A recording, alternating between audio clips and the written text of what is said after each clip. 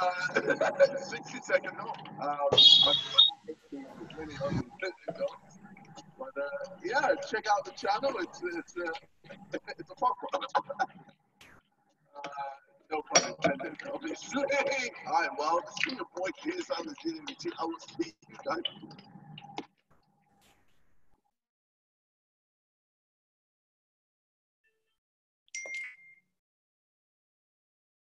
Thank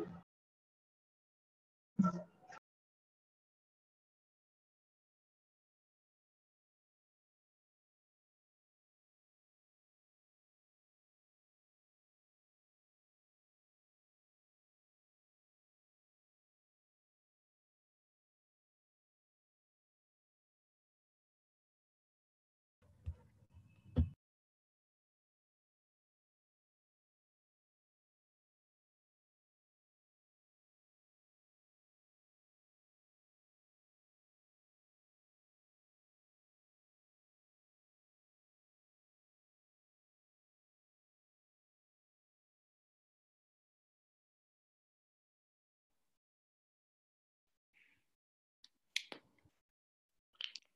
Good evening, everyone. Waiting for others to join in.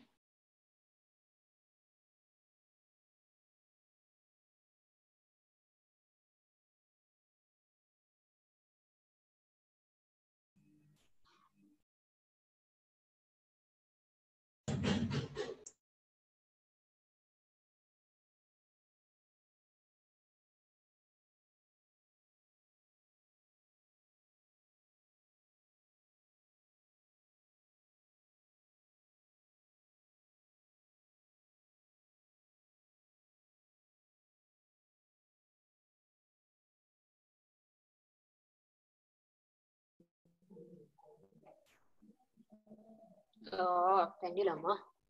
मम्मा मम्मा माझा class चालू झाला class चालू झाला That's why I say mute yourself.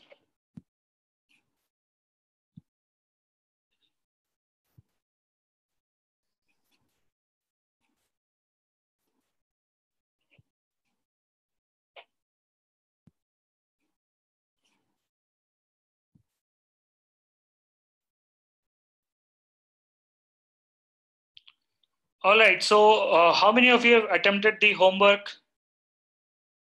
I have received uh, not many, but good number of people have submitted their homework.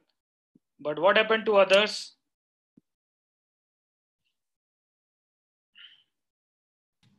UTs. Those who have submitted, they don't have UT. Huh?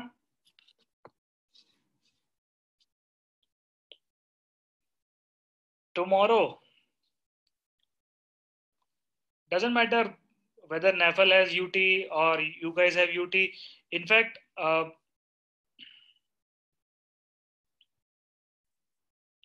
in fact, I would not suggest that UT should affect your preparation at any point in time. So going forward, though, uh, we we will probably not account for UT. Okay, so this time because the first time UT you might be facing, so that is why we have accounted for UT, whether it is NAFL or uh, the uh, RNR. But understand this thing that uh, you are competing with everyone in the country. You're not competing in your class only. Fine. So whether UT or not, both the schools, NAFL and RNR, make sure your assignments are done. Okay. I'm not asking something which cannot be done.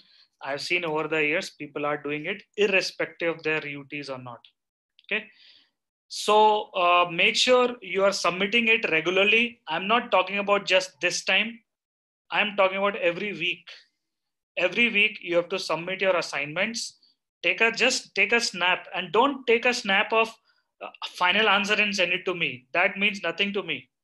Final answer is written against every sheet also. Fine. Make sure you take the snap of the uh, workings and then submit it. Everybody understand this? And probably uh, then only you could see the improvement in your marks in the CheMon test. Okay, it's very important. Take it seriously. Fine. All right. So today is the last session on this chapter, work power energy. All right. And this is the third session on it. So we are going to complete this chapter today.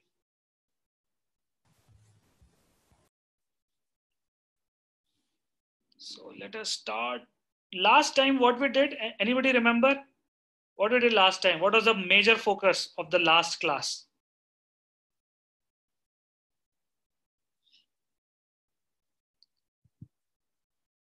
Yeah, you can submit after the class.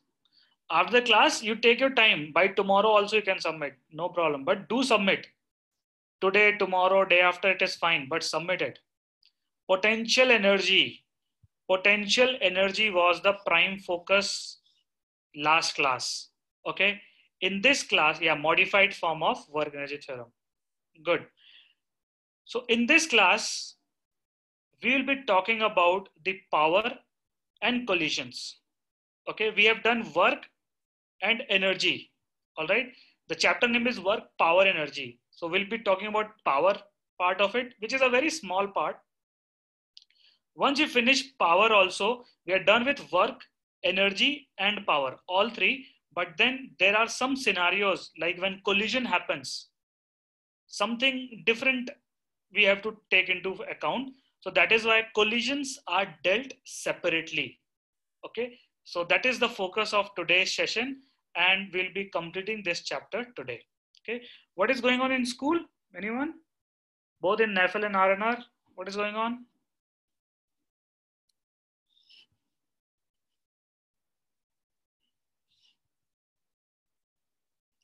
Laws of motion.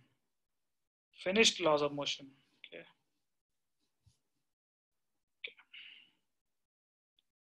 Rotational dynamics they've started in NAFL. Okay. All right. That's going a little fast. All right, guys. So all of you write down this topic power.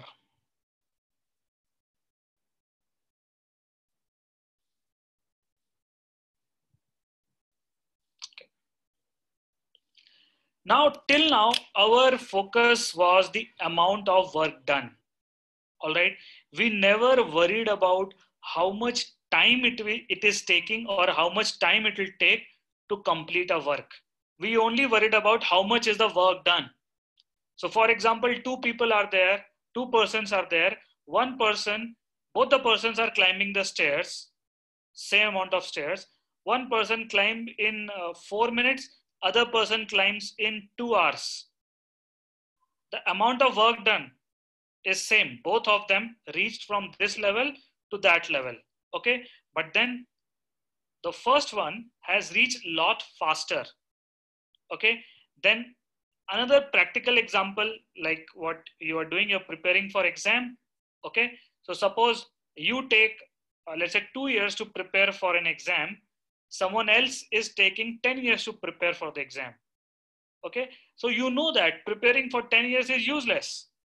Okay? So that's the reason why time factor is very important.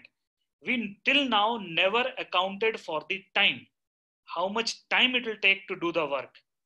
Power is the uh, concept which will take into account of how much time you are taking to do the work fine. Till now only magnitude or amount of work was the focus. Now the even time factor is coming in. All right? So very plain and simple the definition of power is rate at which work is done. Write down. Rate of work done is power. Do you do you remember any other uh, physical quantity or any other thing in physics which is rate of something? What it is?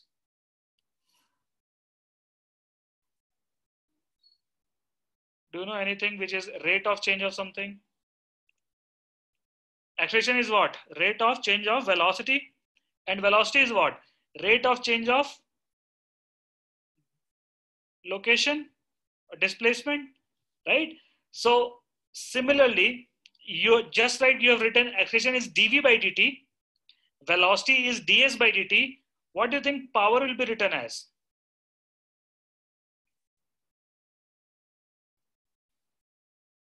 Power will be dw by dt. Yes, rate of change of momentum is force. So there are many things in physics which are rate of change of with respect to time. Okay. And power is also one among them. Power is rate of work done. Correct. So we know that work done is F dot S. Okay. So dw by dt, which is power, will be equal to F dot ds by dt. Assuming force is not changing with time, this will be the power. So ds by dt is what? What is ds by dt? Velocity, right? So power is represented as dot product of force and velocity. Okay. So this is how we represent the power in physics. Okay. So just like the work done, which is force, dot product of force with a displacement, similarly power is dot product of force with velocity. Okay. You can, you can also, you know, just like we have done for the work done, you can say it is magnitude of force into magnitude of velocity into cos theta. You can write like this, or this is also equal to f cos theta into v. Now, can you tell me what does this bracket represent? v cos theta is what? v cos theta represent what?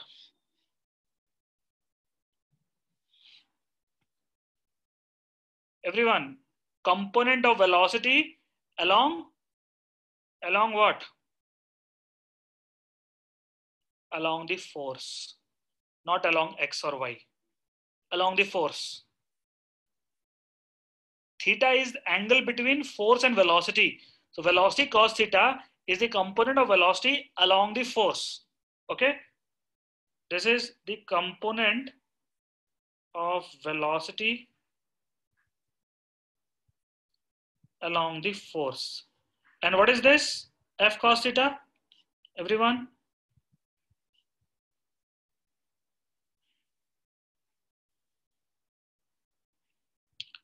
Component of, correct, component of force along velocity.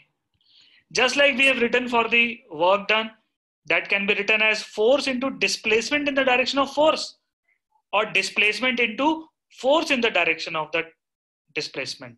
Okay, both ways it can be written. Same way for the power. Okay, so just like you remember, we have done five cases for the work done, right? Same thing is valid for the power also. If angle between force and velocity is 90 degree, what do you think power will be? If angle is 90 degree, power will be 0 right? Cos of 90 will come 0 all right?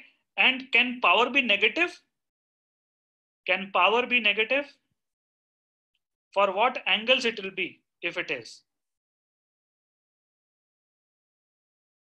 for angles greater than 90 degree it can be negative right so for 180 degrees cos of 180 is how much minus 1 okay so it can be negative if cos theta is negative, just like work done.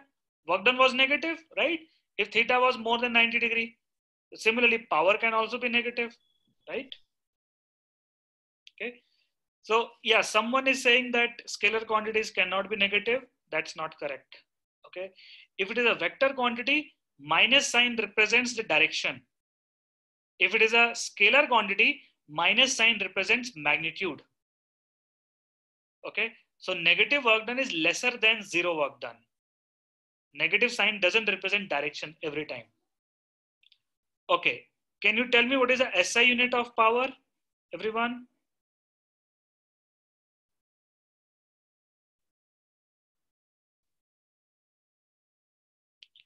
SI unit of power is joule per second, which can be also written as watts. Okay, have you heard of horsepower? Heard of horsepower? Where have you heard of it? Cars, bikes, and all that. So, horsepower is a very popular unit the reason why it is very popular because earlier times horses were used for the transportation.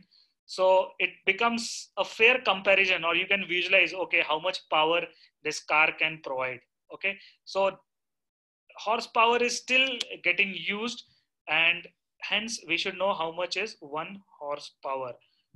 Any, anybody knows how much one horsepower is in terms of watts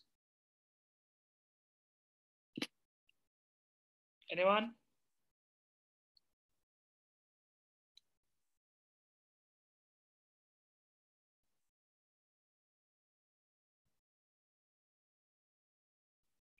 Correct. 746. 746 watts. One horsepower is 746 watts. Can you roughly tell one human's uh, power will be how much? This is power of one horse. One horse can do 746 joules per second work. What do you think a human's power will be? Any guesses, or if you know anything?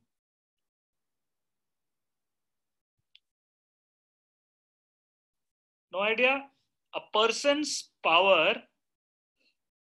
Do you think horse power is more or humans, first of all?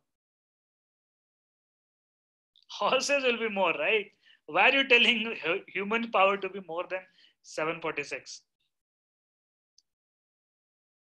So the person's power is roughly 75 watts. This is human. Even if you bring Arnold, then also power won't go beyond, let's say, 100 watts.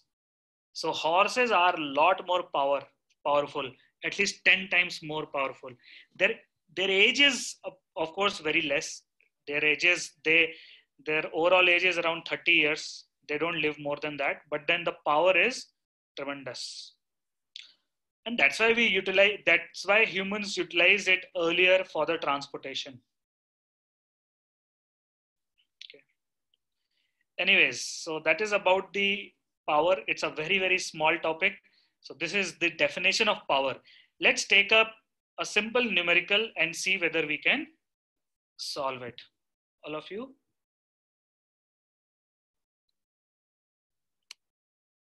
Do this.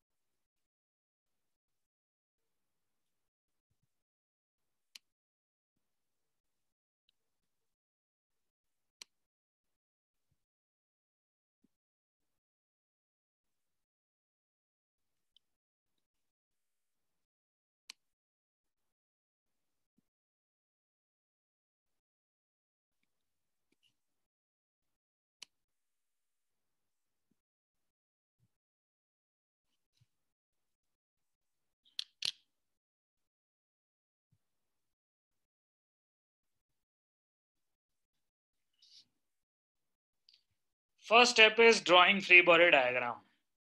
If you're not drawing free body diagram, a high chance you'll get it wrong.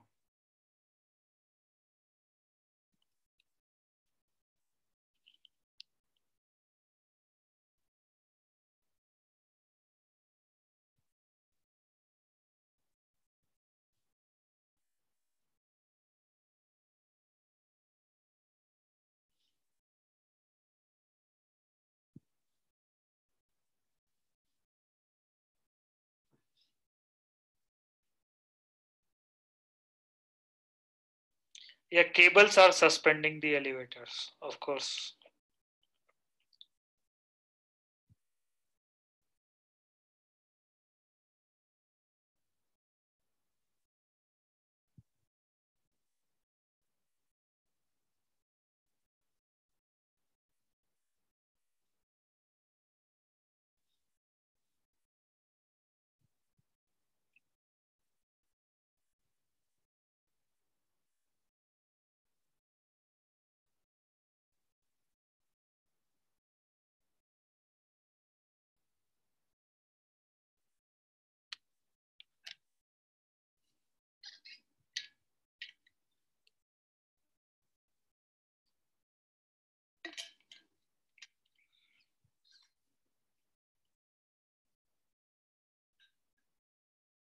Okay, Rohan got something.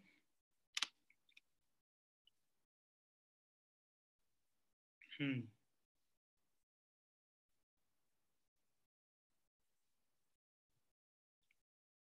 Okay.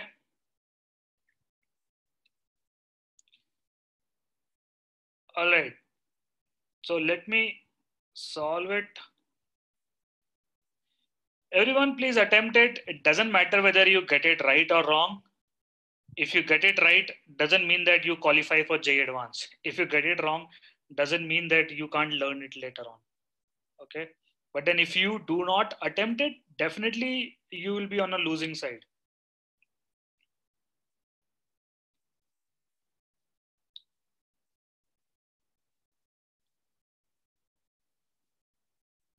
This is the tension. You have 1800 kg. So mg force is there. I'll take GS 10, 18,000 Newton and frictional force is 4000 Newton. It's going up with velocity V, which is given as 2 meter per second. So acceleration is how much? Acceleration is zero. So forces will be balanced. Net force will be equal to zero. T minus 18,000 minus 4,000 will be equal to zero. Constant velocity is zero acceleration. So T is 22,000. Okay. So the power supplied by this tension, which is cable, will be positive or negative. What is the angle between velocity and the force?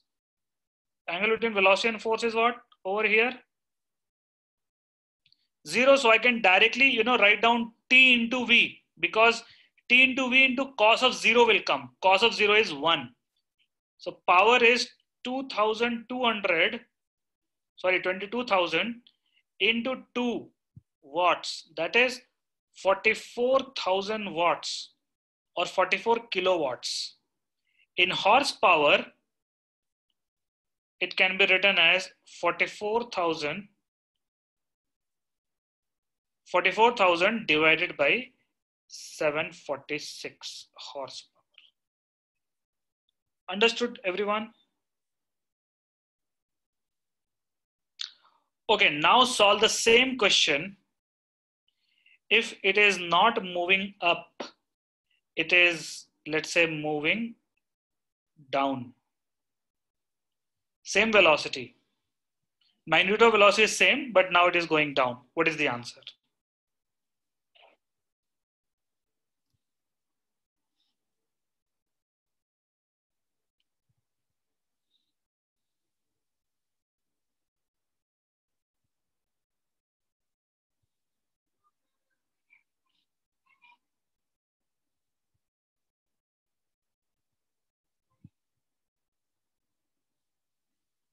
Will it be positive or negative? First, tell me that.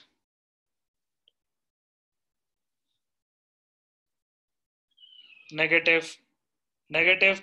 Velocity is down and force is up.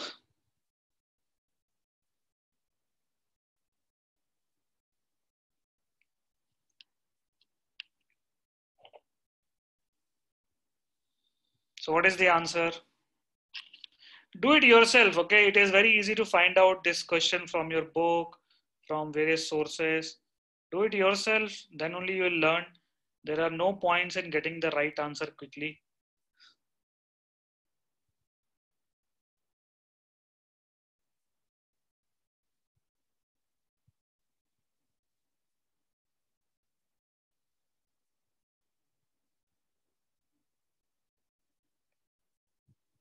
Okay, good to see that one Sambu, Aryan, Kinshuk, they got it correct.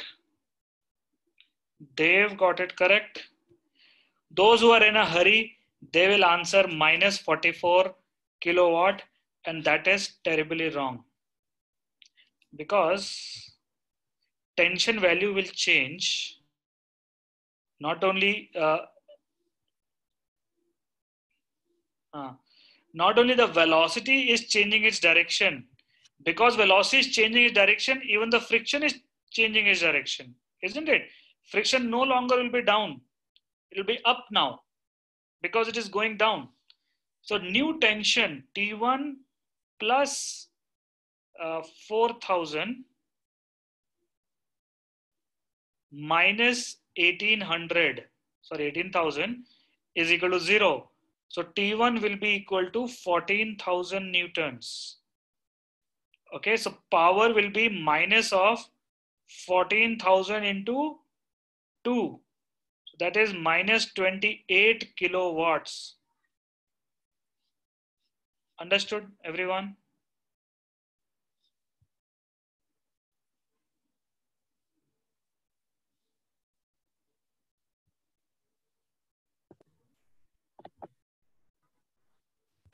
Anyone has any doubt? Quickly type in.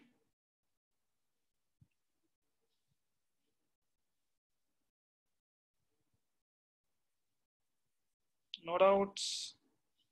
Everybody understood? Yes, we are assuming ideal cases here. Uh, anyone has any doubt? All right. Acha, by the way, uh, I forgot to mention at the start uh, what uh, the main thing is that we are going to reshuffle you guys, as in not just NPS, RNR, or NAFL. There will not be any concept of any school now as such.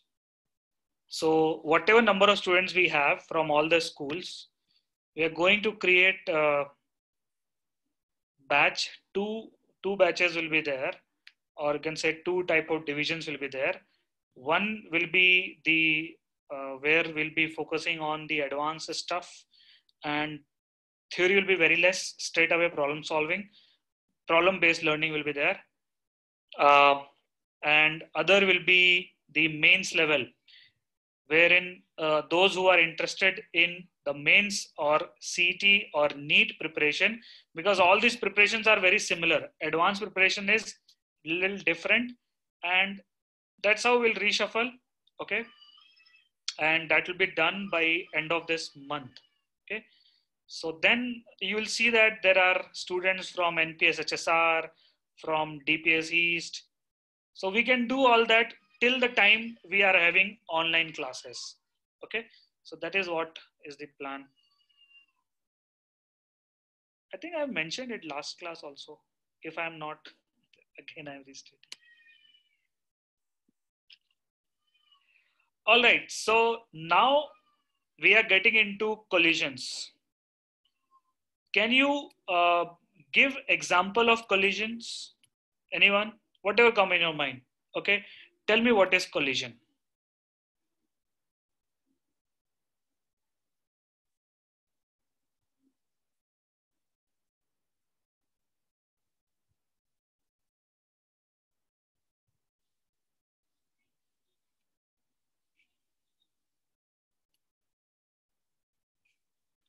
Two balls collide with each other hitting one particle the other particle. Car accident okay? Hammer and nail. Hammer and naffle. No nail. When two objects crash into one another okay? What else? When two objects hit each other with a force and they move back with a force. Wow. Okay, bouncing of a ball. Good. So I think uh, all of you have this similar explanation about the collision wherein one object has to hit the other object right? So let me just give a few examples here and then you tell me which are the examples of collision which are not the example of collision okay? I'll just write down six different kinds of things. The first one which many of you have said is one ball coming and colliding with the other ball. Okay? This ball come and hit the other ball. All right? The second example let's say is this wherein there is a wooden block like this. Okay then there is a bullet coming in. Bullet is coming inside with some velocity and it just goes inside get embedded. It doesn't come out. Okay? Then you have let's say another one wherein a bullet comes in it then pierces it and then come out. It doesn't stay in. Okay?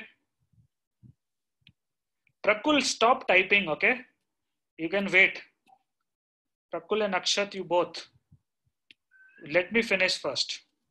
I am i don't want your comments right now. Understood?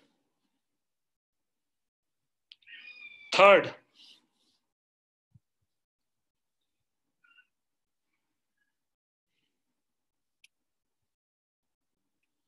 is let's say you have a mm, this is an inclined plane like i guess inclined plane is coming almost every problem now and then.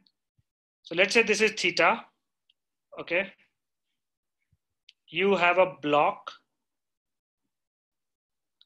of mass m this is capital m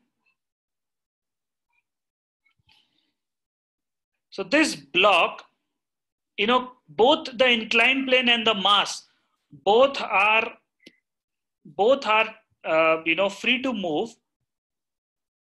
But when this small m is about to move, like when this small m is moving, capital M has also started moving. Okay. Fifth, you have a positive charge, you have another positive charge. It starts moving. The first one started moving towards the other one, and then other one also starts moving. Why the other one starts moving? Because this positive charge will repel the other positive charge. Okay. The sixth example is this one. You have a bomb okay? And it explodes into three pieces. This piece goes this way this one go that way this is going that way. There's an explosion here okay? So these are the six different type of uh, scenarios. You have to now tell me which one are collisions okay? All of you type in your answers now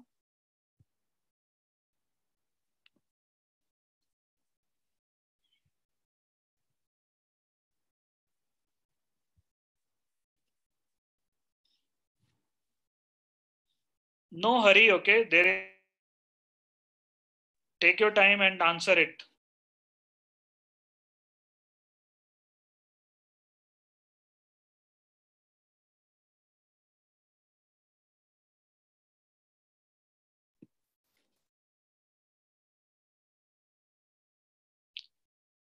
okay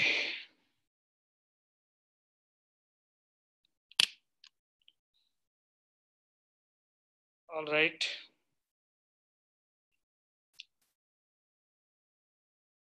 So is is fifth is fifth collision or not? Fifth one. Why? Because they are not physically touching. There is no contact. Can you define contact? What do you mean by a contact? Anyone? Contact means what?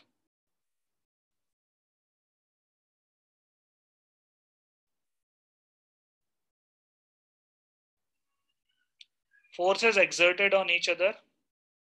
Okay. Does contact mean that electron and proton from one hand touching the electron proton on the other hand? No. There has to be some sort of force among each other. Presence of some normal force or any force.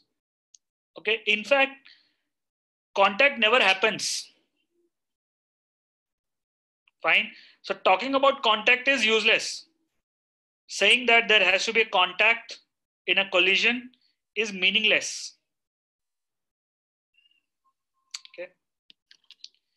So first I'll tell you what is the answer. Answer is all are the forms of the collisions.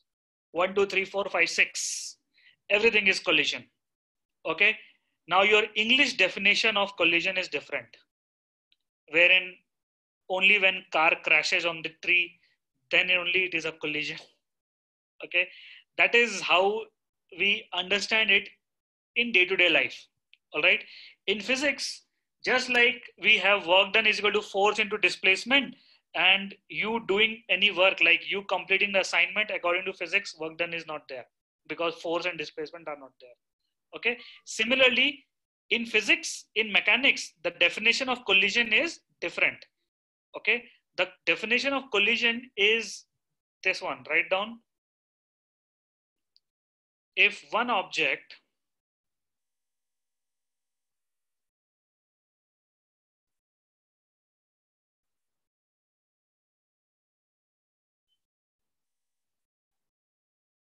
affects the motion of the other object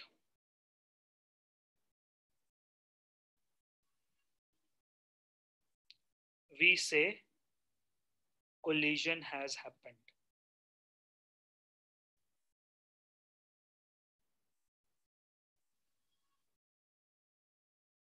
Okay, plain and simple.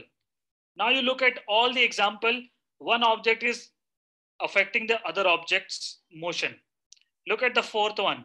Isn't presence of this small m is making the capital M move? Heavier this small m is, faster the capital M moves. Okay?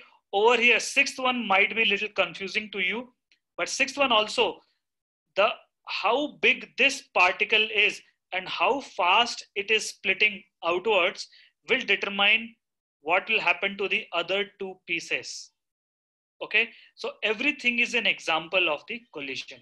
Okay? Anyone has any doubt here? Kirtana have you understood?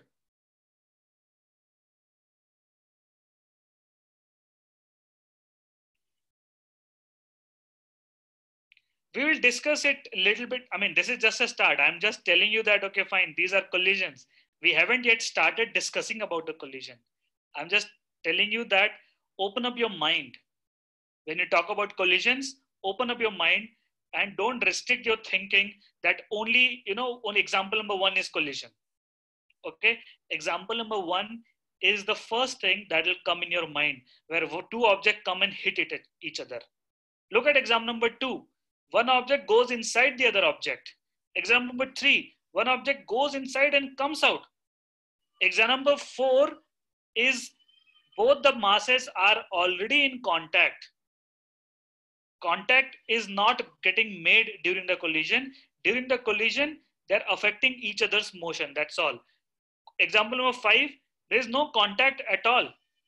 And example number six, originally only one mass is there. Okay, so all are examples of collision. So whenever we discuss anything related to collision, all these six examples are, I mean, everything is valid for these six examples. And these six examples are not the, uh, you can say, exhaustive examples. There can be many more examples also. Fine. So this is the collision and we are going to start the study of collisions with this concept of write down conservation of momentum.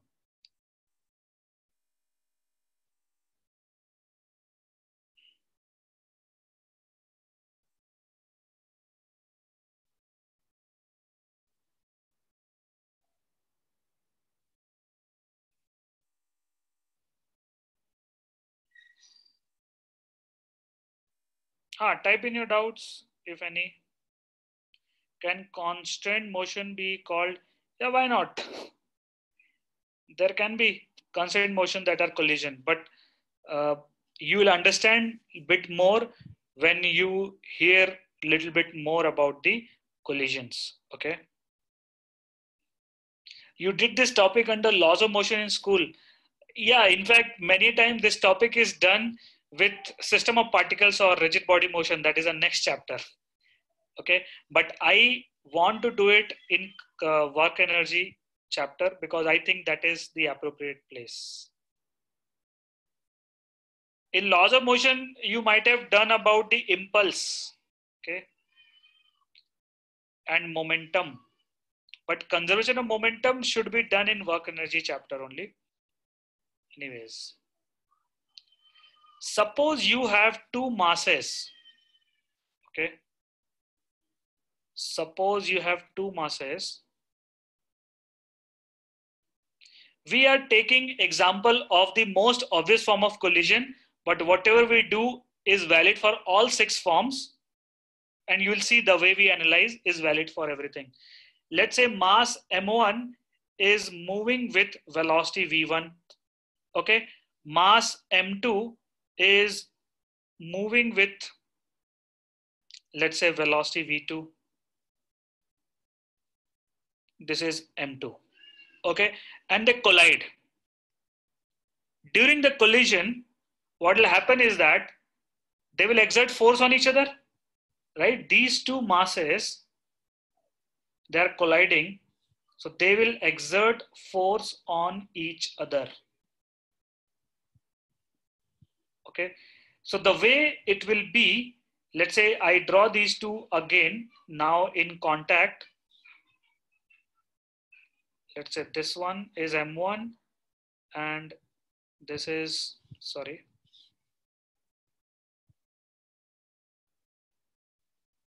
this is the m2 okay on which direction they will exert force on each other? Anyone Suppose they are disk, circular disk. Which direction they will exert force on each other when they collide? What do you think?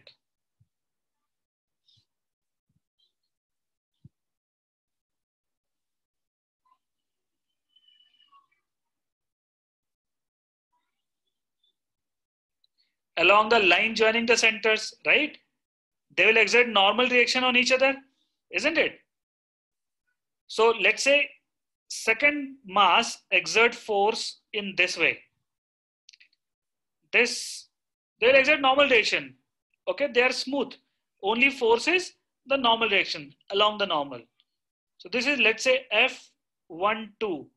Force on M1 due to M2 is F12. What is the force on the second mass? What can you say about the force on the second mass? Yeah, that is a name of the force. F21 is a name of the force. What you can say about F21? Equal and opposite. Very good. So F12 and F21, they are equal and opposite to each other. Which law have you used here? Anyone? Newton's third law right? Correct? So this is the mechanism. All right. Now, can I say, can I say that F12 is rate of change of momentum for mass M1? Can I say that? During the collision, during the collision, whatever force is there, F12, it will change the momentum of M1. Is it correct? And minus F12, which is this force, will be equal to rate the momentum is changing for the second mass. I can say this. Now, if I add them up, I'll get zero on the left hand side. This is equal to dp1 by dt plus dp2 by dt. Fine. So if I take d by dt common, I'll get p1 plus p2. These are vectors, by the way, is equal to zero. What does it mean? Derivative of a variable is zero. So what does it mean? Derivative of p1 plus p2 is zero. So p1 plus p2 will be a constant, right? So p1 plus p2 will be a constant, okay? So initially, whatever is the sum of p1 and p2, initial, this is equal to sum of p1 and p2 final. What does it mean? Before the collision, when they have not been interacting among each other, they were not creating any force on each other. Let's say the momentum is P1 plus P2 initially. Same momentum will be after the collision also. Even though momentum of M1 is changed, whatever was the momentum of M1, it is changed. Momentum of M2 can also be changed after collision. But when you add them up, the sum will not change. Everyone understand this point?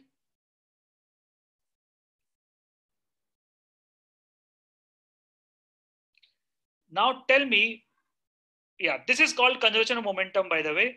Tell me what is the assumption here? Assumption is what? A big assumption we have made here.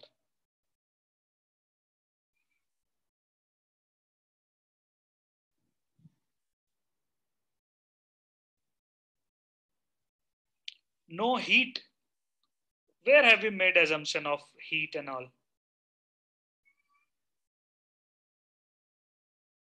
There is no resist there can be resistance. There can be resistance. Okay?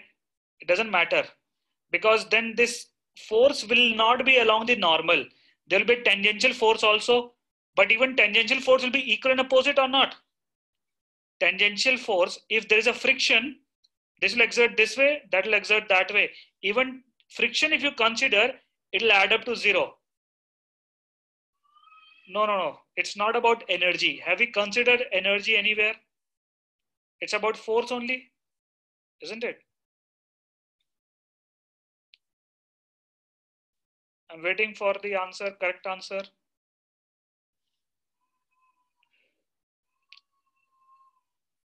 The bodies can start moving in any direction as long as momentum sum of their momentum is same as the before. It doesn't matter. Mass does not change. No we haven't made that assumption. P1 inside p1 and p2 mass is there no no one No damage. No, there can be damage. Doesn't matter. Constant velocity. Not required. Velocity can change. In fact, velocity is changing. After collision, don't you think their velocity will change? Bodies need not be rigid. It can be compressible. Where have we assumed that bodies have to be rigid? Never we have assumed. In fact, when collision happens, there is a small amount of deformation that happens. I mean, in the, the first case of collision. Okay, the assumption is that yes, isolated system, correct. So Lavanya got it correct. So there is no external force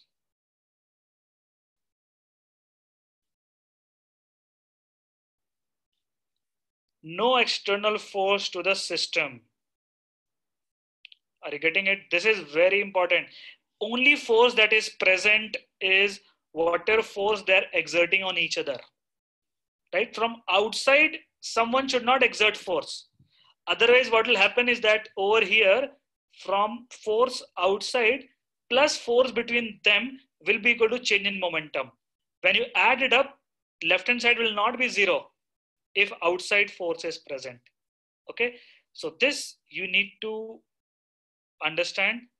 You can apply conservation of momentum, write down only when, only when there is no external force to this system.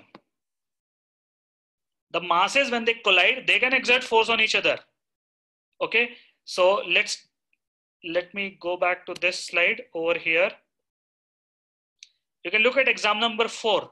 Example number four, one mass is exerting force on the other mass continuously. Okay, so that is fine. From outside, there should not be any force. Is there a force from outside, by the way? In example number four, can you tell me? Is there any force from outside? Other than what they're exerting on each other? Small m and capital M. Gravity. Gravity is one. Is there any other force from outside? Friction. Friction between small m and capital M, you're saying, Raghav? Normal reaction. Very good. This could be the external force.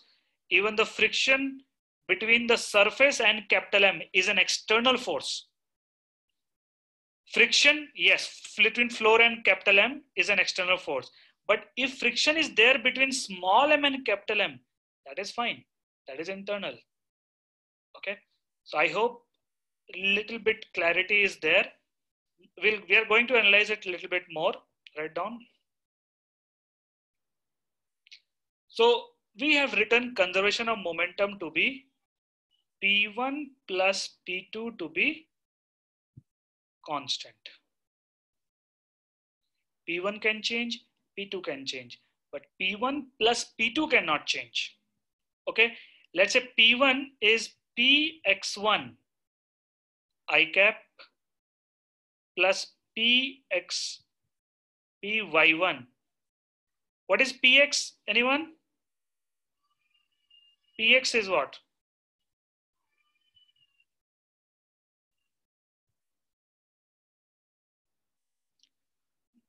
component of momentum along the x-axis. Very good. Plus px2 i cap plus py2 j cap. This will be constant. Okay. So you can write it as px1 plus px2 i cap plus py1 py2 j cap. This should be constant. If this is constant, can I say this has to be constant and this also has to be constant? Sum, even if the sum is constant, then also component along z axis, z component about y-axis has no implication on component along the x-axis. So they have to be individually constant. What I'm trying to say is that momentum along x-axis should be constant and momentum along y-axis should be constant.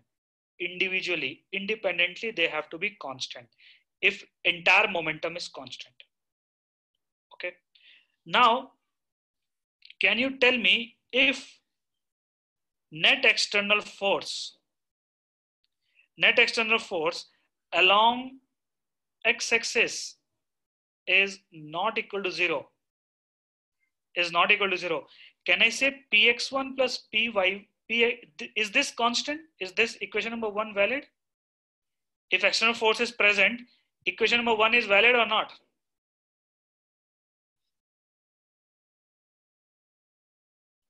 no it's not valid. What about equation number two? Is equation number two valid? Okay. Yes, equation number two is valid. whatever happens in the x-axis has no implication on whatever happened along the y-axis. So you will understand, you, you now know the power of vectors, isn't it? If external force along the y-axis is not equal to zero, but of course, external force along x-axis should be equal to zero. Over here, we are assuming that external force along y-axis is zero when we write this. So if this is along y-axis, net force is not zero, but along x-axis it is zero. I can say px1 plus px2 is constant.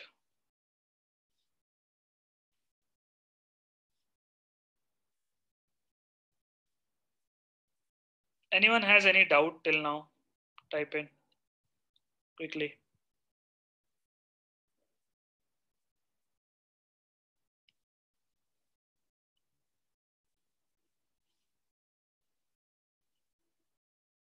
What do you think momentum along x-axis will be? Mass into mass into what? Velocity along x-axis. Okay, so you guys know it, right? Velocity component of velocity along x-axis. If you multiply with mass, you'll get momentum along the x-axis. Okay, so you know how to write it. So what is initial momentum and final momentum? How you write it? Mass into initial velocity is initial momentum. Mass into final velocity is final momentum. Okay. Got it? So let's solve few questions now on whatever we have done. Any doubts? No doubts.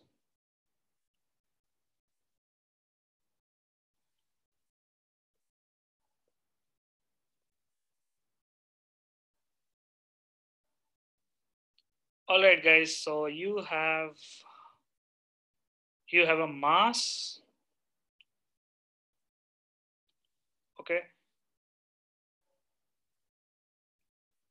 This is smooth.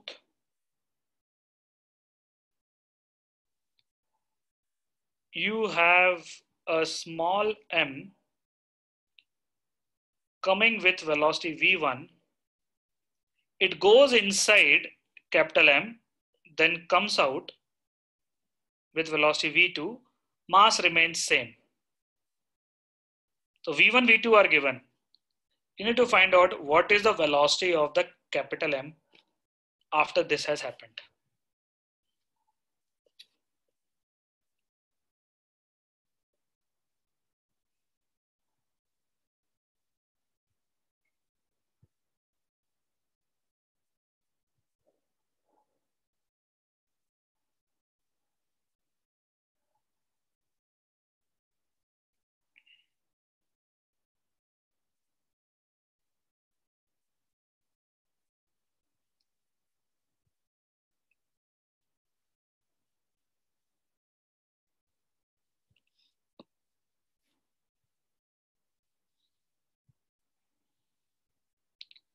Do you see, uh, can I say horizontally there is no external force? In horizontal direction, there is no external force. Can I say that?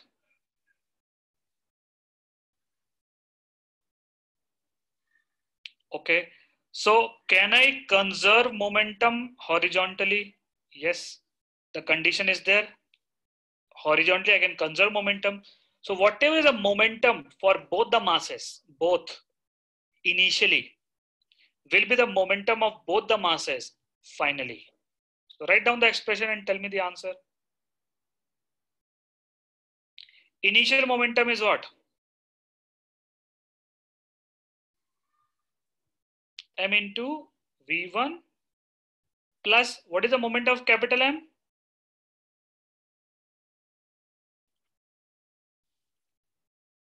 Initial capital momentum is zero.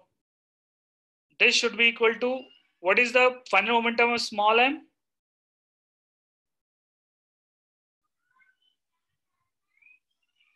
this for capital M it is capital M into V. So from here, you'll get the value of V to be equal to M times V1 minus V2 divided by capital M. Okay, this comes from the conservation of the momentum itself directly. Everybody understood this? This example, everybody understood? Type in quickly. All right.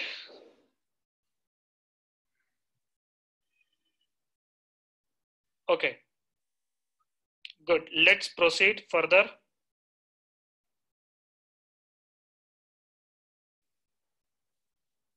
You have a boat. It is placed on a surface of water, almost no, I mean, zero friction, you can assume, ideal case. It is there on the water,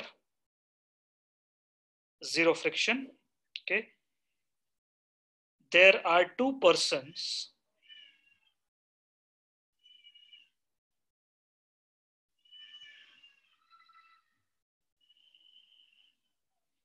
this person has everything was at rest. Everything was at rest. This person suddenly started moving with v1 that person started moving this way with v2 you need to find out with what velocity the boat start moving. Let's say velocity is v. To find what is v the person's masses are m1 and m2s boat mass is capital M. Find out.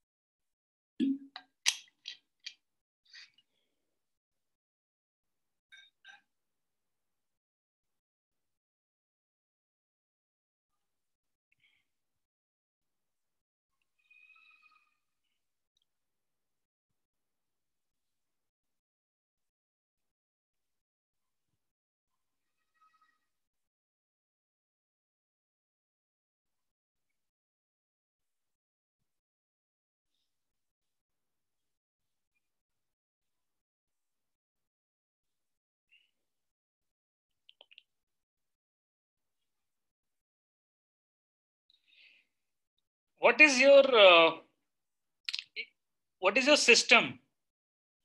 Are you taking all three masses in your system?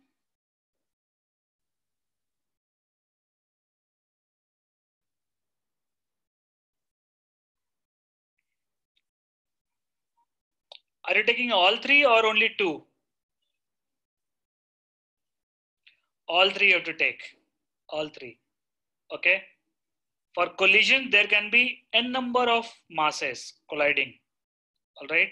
So you're taking all three, and then you have to see a direction in which net external force is zero.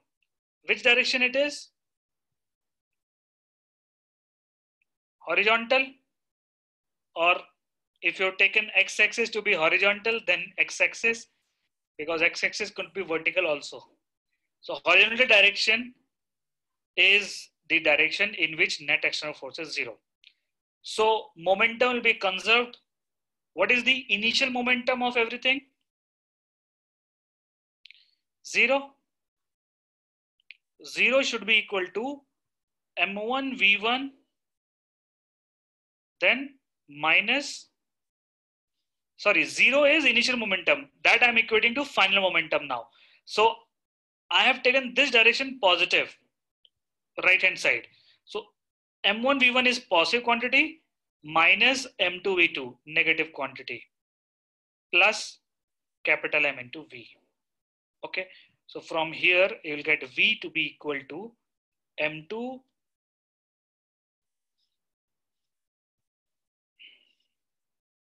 V2 minus M1 V1 divided by capital M. Okay, these are the some of the straightforward examples which you can have with whatever we have studied till now.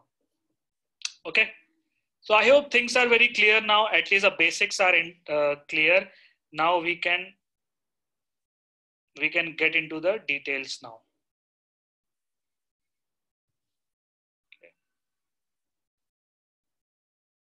Shouldn't we consider M1, M2 also for boat mass as they are in the boat? Yes, we have considered M1, M2, isn't it? Haven't we considered M1, M2?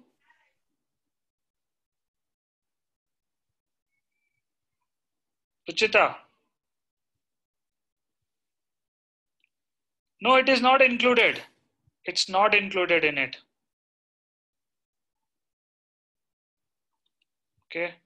Body move, why initial momentum is zero? Initially, everything is what?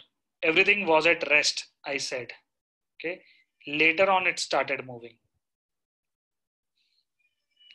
Kiran, why you joined so early? One hour late you came? Sorry, sir. Yeah, sorry. No, sorry. Tell me the reason. Sorry. What Sir, is- I didn't see time go, sir. I was doing something else. Something else, what exactly? Hmm. Everybody is interested. Tell me. What you're doing, listening to you. Tell me quick. Huh? Kiran.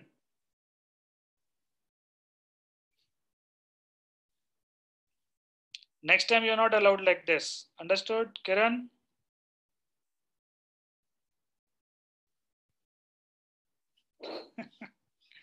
okay.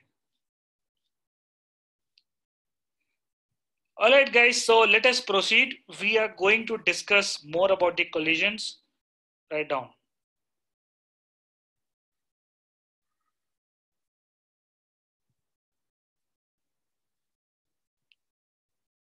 Collisions.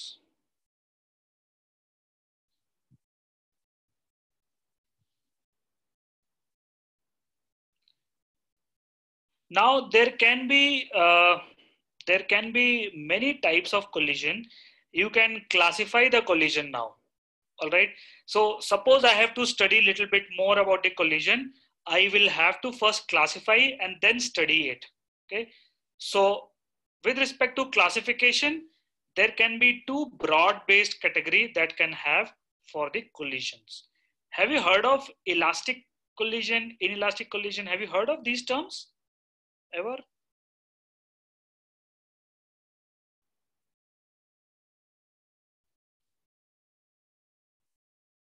No, never.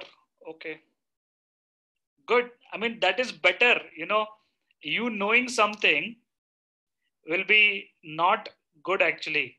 Now I can tell you everything from start and you will understand everything. Otherwise, you'll be like, oh, two years back, some some someone said told me something else. Just like that happens in laws of motion, right? Head-on collision, you heard. Okay. Yeah, even that is there. write down elastic collision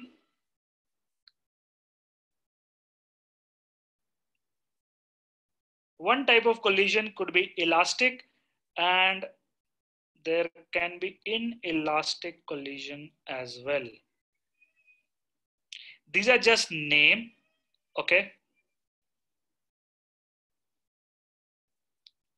so when a bullet hits the superman the elastic collision happens, the bullet will bounce off.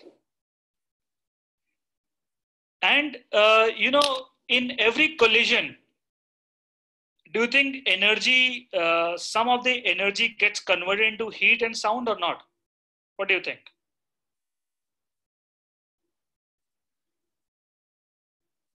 Right? It gets converted into heat and sound. Light also.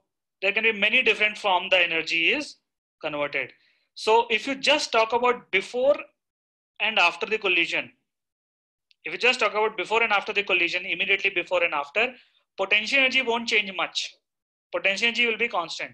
suddenly height difference will not be there. So when I talk about the uh, energy before the collision, I mean kinetic energy. Okay. Immediately before and after collision, if there is energy loss, okay, in terms of heat and sound, that energy loss is because some kinetic energy earlier, whatever the kinetic energy, some part of it got converted into heat and sound immediately after collision. Okay, so with respect to energy only, these are the two classifications. Elastic collision is an ideal case. Okay, it is an ideal case which never happens, but this is one of the extremes we have to discuss. In elastic collision, no kinetic energy is converted into heat and sound or any kind of thing. Kinetic energy before the collision is equal to kinetic energy after the collision in the case of elastic collision. Okay, so write down. Momentum is conserved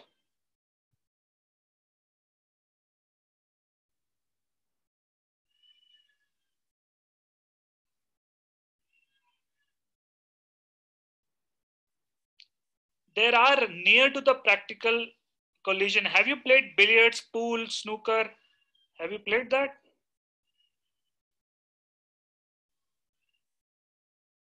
That is near elastic collision. Marbles also you can say. Write down no kinetic energy. You know, if if I if I drop a marble on the floor and if it is an elastic collision, no kinetic energy is lost immediately after the collision. So velocity just before the collision is equal to velocity just after the collision. Then it will keep on bouncing till infinite time. Till eternity, it will keep on bouncing up and down if kinetic energy is not converted into heat. Okay, so ideal cases don't exist.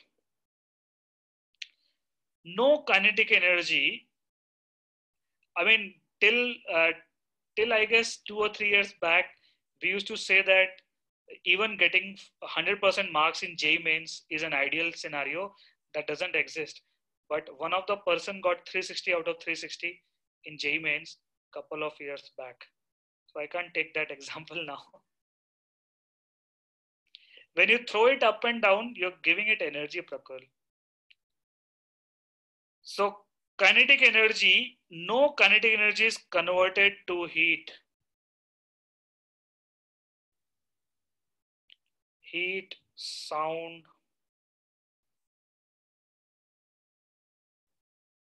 or light.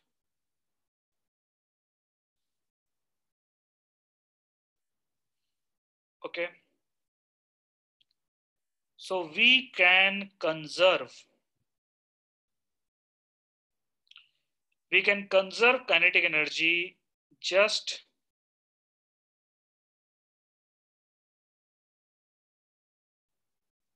before and after collision. Okay, this we can do. This is the ideal scenario, elastic collision. Ideal scenario, we can assume on paper, I can tell you that elastic collision is happening. Okay, so many questions are on elastic collisions. Then in elastic collision, do you think momentum will be conserved or not? Everyone. Momentum is conserved here also.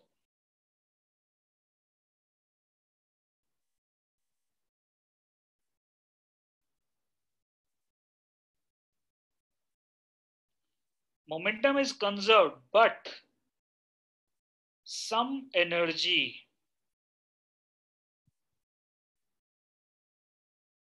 some kinetic energy got converted to these things heat light sound. Okay because of that we cannot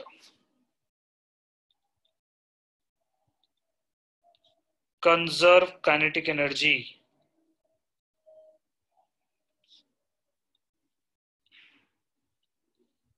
just before and after the collision. Okay. So these are the scenarios. Elastic collision is a specific scenario. Inelastic collision is everything other than elastic. Okay. Now there can be a specific scenario of inelastic collision also. What that can be? The elastic collision is when total energy initially is equal total kinetic energy initially is equal to total kinetic energy finally. Entire kinetic energy is conserved. Is perfectly elastic collision. What could be the other extreme? What could be the perfectly inelastic collision? What do you think? The other extreme of it.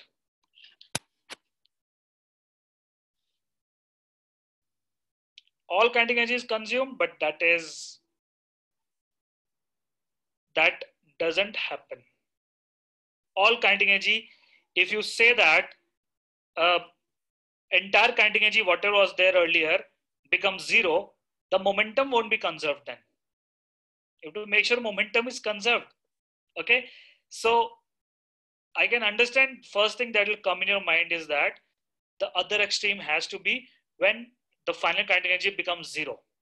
But that may happen, may not happen, depending on momentum is conserved or not. So you can write the perfectly inelastic collision is a case where maximum max loss of initial kinetic energy happens. Okay.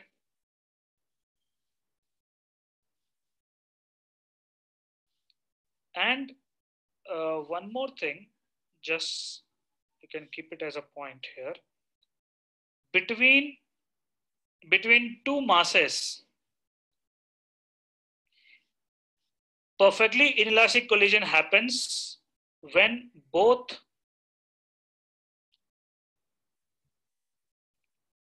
start moving together.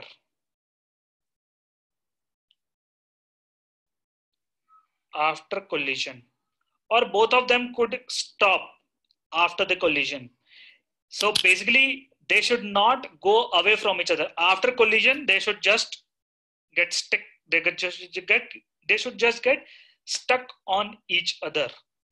A car hitting a tree is an inelastic collision. Okay. Can you point out any inelastic collision in this case? Uh, this one over here, any inelastic collision? Which example? Example number two, correct.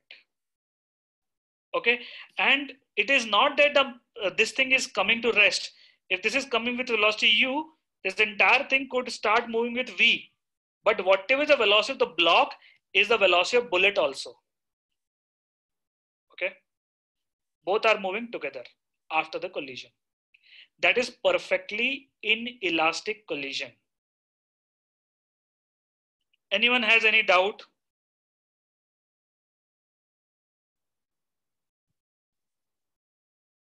Anyone has any doubt? Quickly type in. No doubts? Okay. Have you heard of conservation of momentum before, like in class 9th? Right? You should be already knowing a lot of things.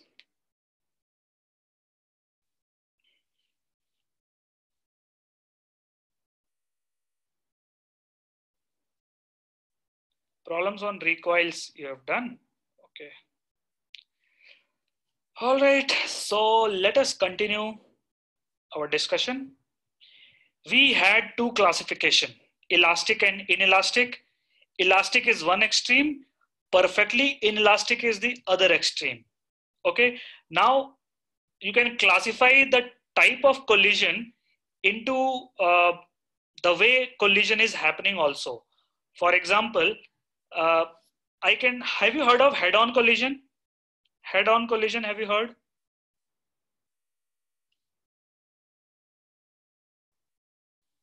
Heard of it. Okay, I'll, I'll talk about example here. First write down head on collision. In the head on collision also, there can be elastic and inelastic collisions. Okay, it's like, you know, uh, let me take an example. Let's say uh, you have set of 108 elements. You can classify them uh, with respect to uh, which are liquid, which are gas, which are solid. Okay, then you will be like, uh, let me find out which are metals. Inside the metal also, you'll have some of them could be solid and few of them could be liquid. Right? So similarly, we first classified the collisions into broad categories based on energies conserved or not. Now we are classifying the collision depending on how collision is happening. Okay, now how collision is happening, let's say I'm talking about head on collision. Inside the head on collision also, there can be elastic collision, inelastic collision. Okay, so write down head on collision. First, I'll tell you what it is.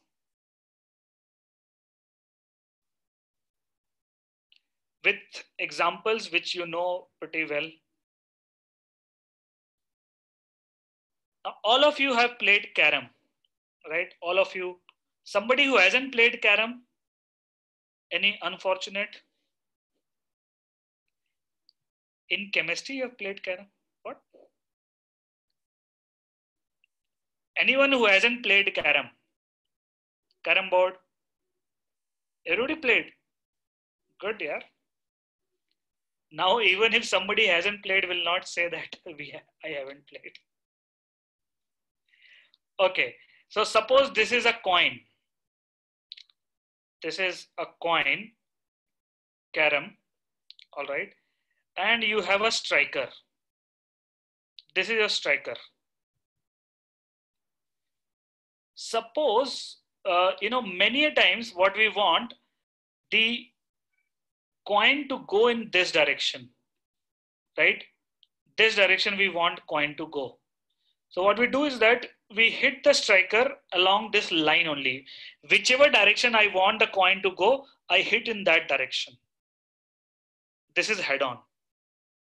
Has it ever happened that uh, you want the coin, let's say this coin, which is there, has it ever happened that uh, you are hitting it your striker is moving in this direction okay? But you don't want the coin to go in that direction. You want the coin to go in that direction. Has it happened?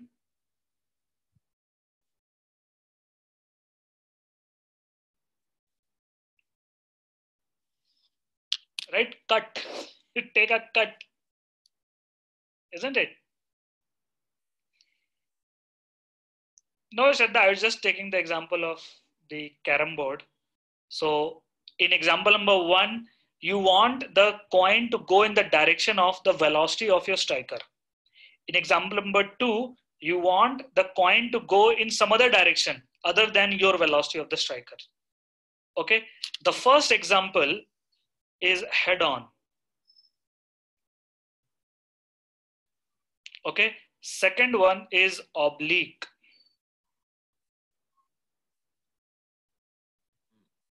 Okay? Both of the cases only point contact is there. It's not that entire striker is touching this. Only this point is touching. Over here probably this point is touching. Only one point touches.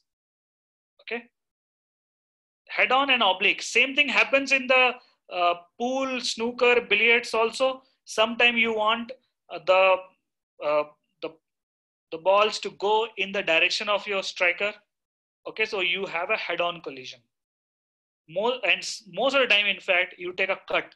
You don't want it to go in the direction of your uh, striker's movement. You take an oblique collision. Now, exactly what happens in this scenario, in the head-on scenario, we'll talk about oblique little later. Okay, in the head-on, in the head-on collision,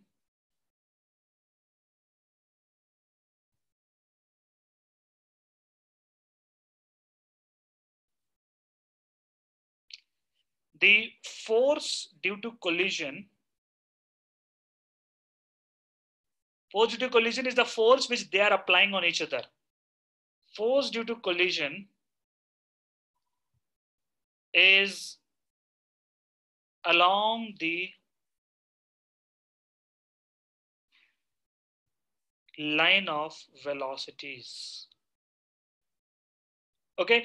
It's not necessary that this coin is at rest this coin can also be moving, but it has to move along that line only. And when this striker hits the coin, they exert force also in the direction of the velocity. So that is the reason why both before and after the collision, their velocities are along that line only.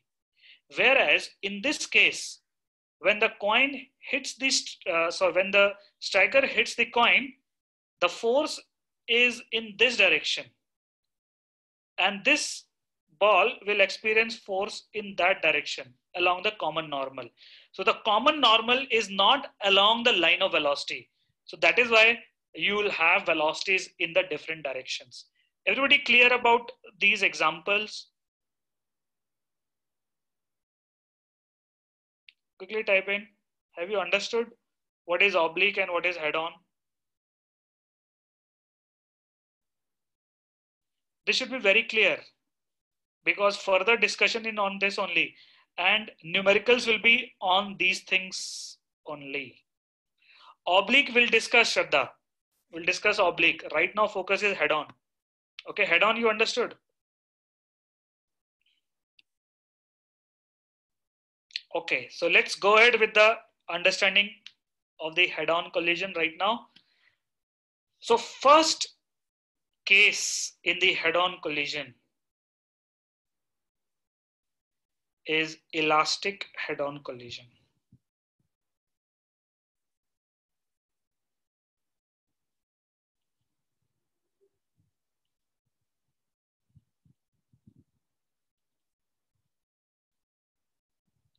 Okay.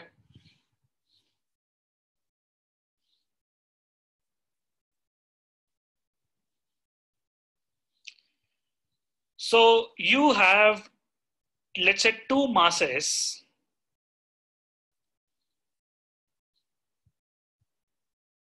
One is going with u1 velocity, other is going with u2 velocity.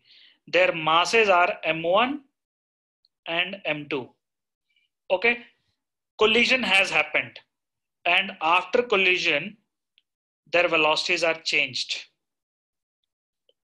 okay now this guy is moving with v1 that mass is moving with v2 their masses are again m1 m2 only. M1 m2 okay? It is elastic head on collision. Before and after the line of velocities are horizontal only. Okay? It, it, it is happening on let's say on a table frictionless table. So you need to write down the equations here. Write it. What are the two equations? Conservation of momentum and conservation of energy. Write it.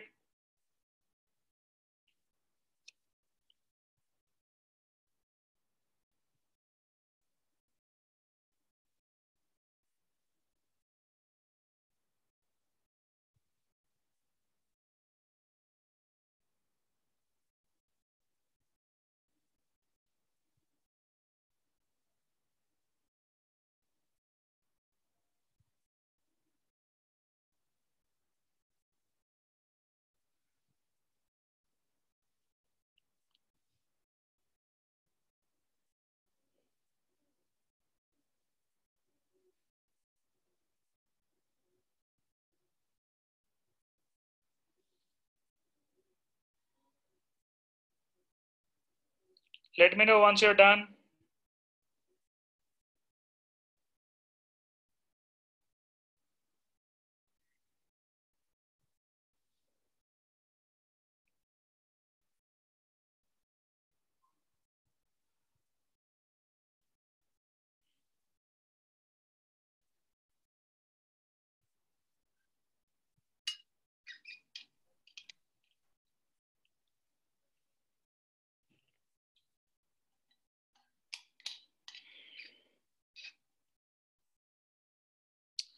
Conservation of momentum written. What will be the equation? Initial momentum is m1 u1 plus m2 u2. This should be equal to m1 v1 plus m2 v2. This is conservation of momentum.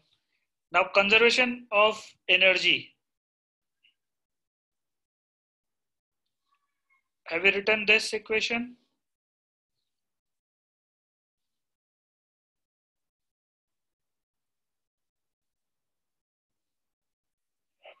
Energy equation have you written?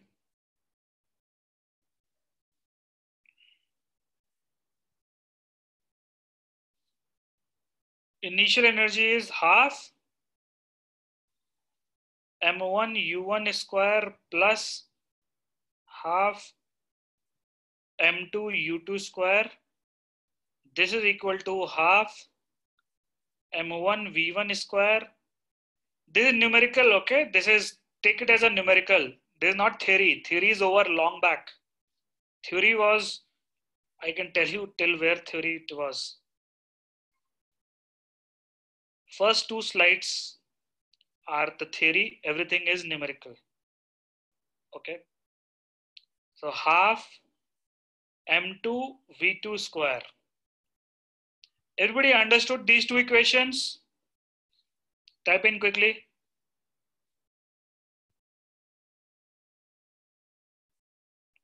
Okay, now, now I want to find out V1 and V2 in terms of everything else. Okay, so if we have to find out V1 and V2 in terms of everything else, you will first, you'll get worried because there is a square term. It is difficult to directly get into solving these two equations to get V1 and V2. Okay, so we will do some sort of trick here. So all of you look at it. Equation number one, first I will modify one. I'll take M1 on the left hand side, M1 U1 minus V1 is equal to M2 V2 minus U2. Okay, this is a modified form of equation number one. Equation number two, half I'll remove. Then I'll take M1 this side, I'll get U1 square minus V1 square, which is U1 minus V1 into U1 plus V1.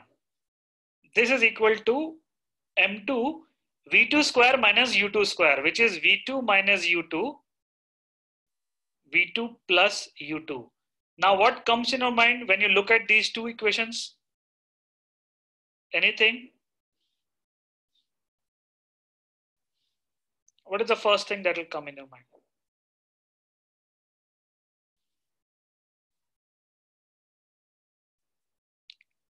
Most obvious thing.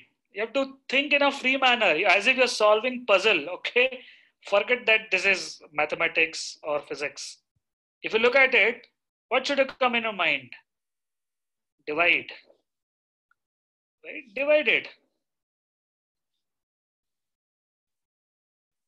If you divide it, M1, M1, U1 minus U1, this, this, you get cancelled. You'll get U1 plus V1 is equal to V2 plus U2 or u1 minus u2 is equal to v2 minus v1 okay so you have got another equation which you can say equation number 3 now solving 1 and 2 isn't it same as solving 1 and 3 what do you think solving 1 and 3 will give you the same answer as solving 1 and 2 or not? Quickly type it.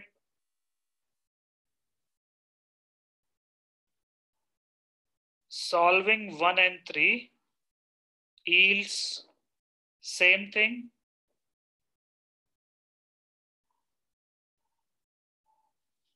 Because 3 is coming from first 2 only. Now, solving 1 and 2 is easy or solving 1 and 3 is easy? What do you think?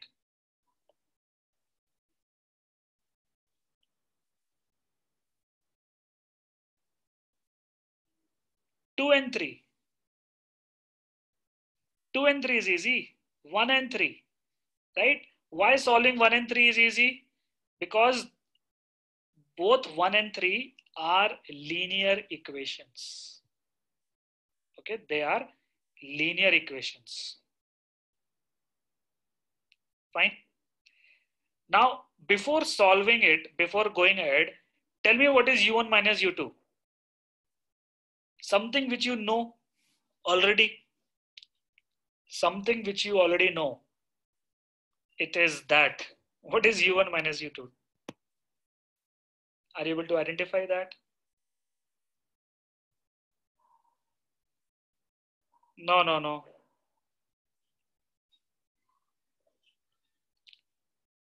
Something which we have been using continuously in motion in ah good Vaibhav got it Madhumati got it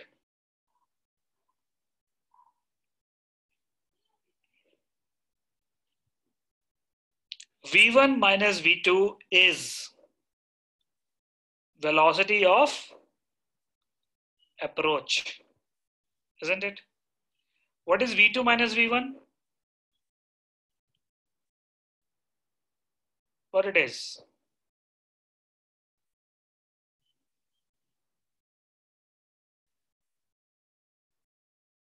V2 minus V1 is velocity separation. Okay. So see, it has come here also. That velocity separation and approach concept. So for elastic collision, you first write it down before solving it. This is true for every elastic collision. For elastic collision,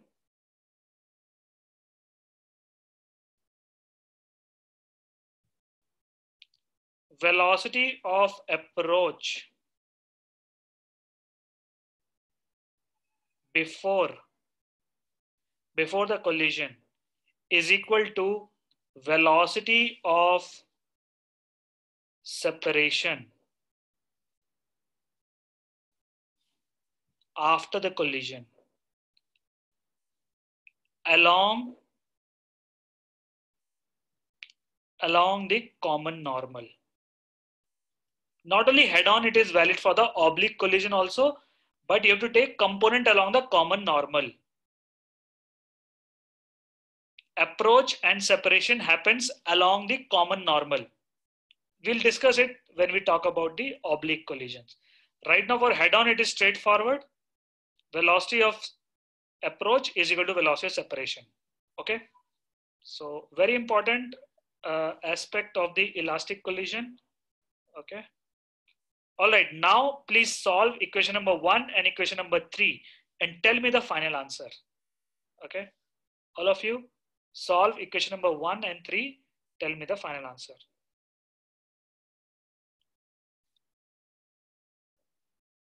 I want V1 and V2 in terms of everything else.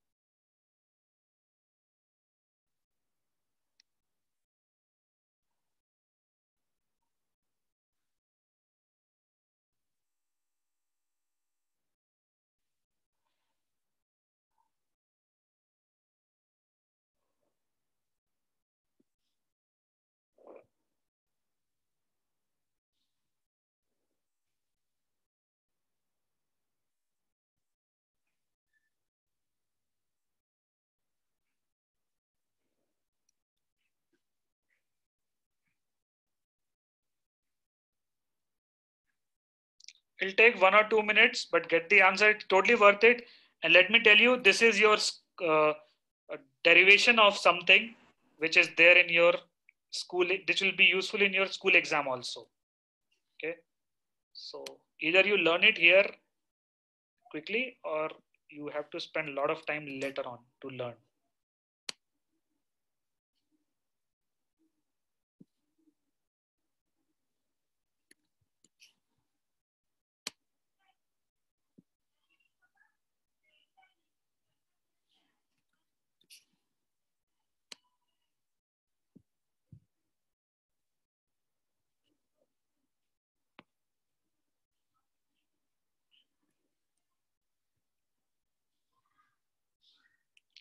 Anyone close to the answer? V1 and V2?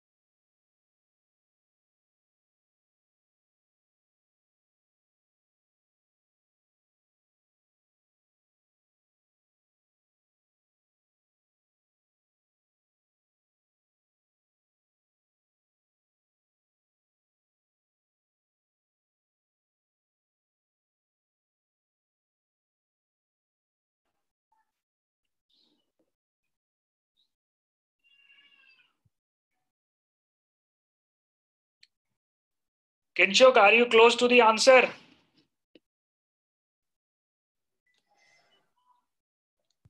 Anyone?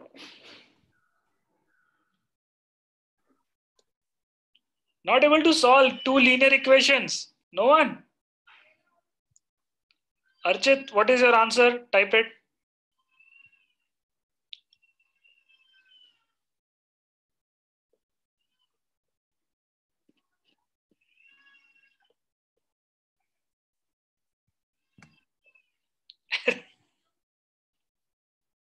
No, Kinshuk, you'll not get that.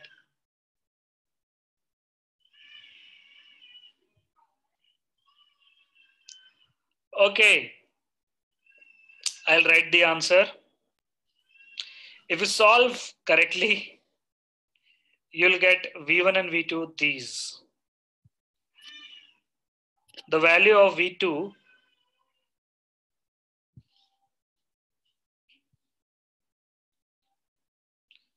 just a minute. Okay, you solve it. I'll take some time to write it. Let's see whether you get it. I'm sure some of you are not solving it, waiting for copying down. See, copying down doesn't help. Everything is written in the book.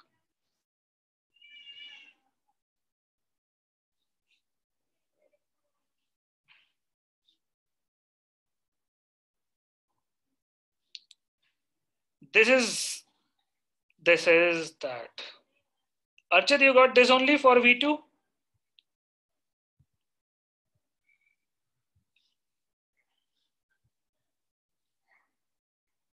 no. Madhumati got it. Archit got it. Okay. Good. V1 will be 2m2u2 minus m2 minus m1. This is u2 by the way, u1.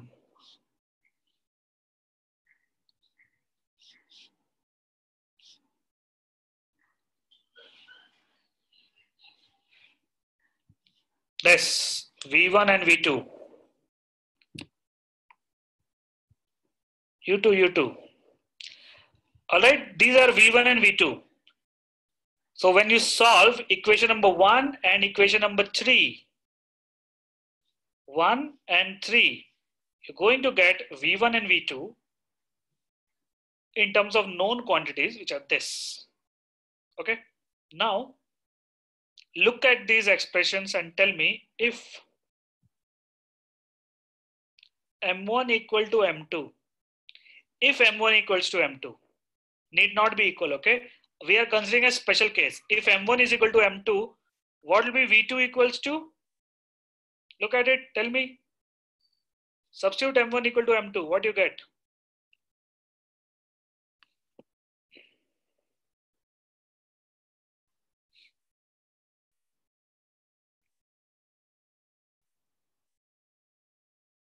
V2 will be what?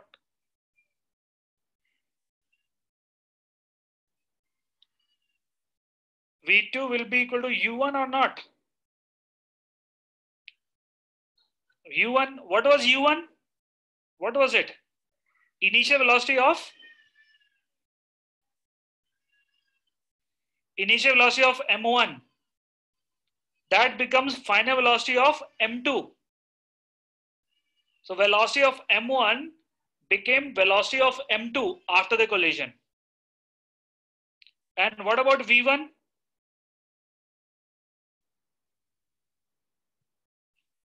V2. So velocities get exchanged.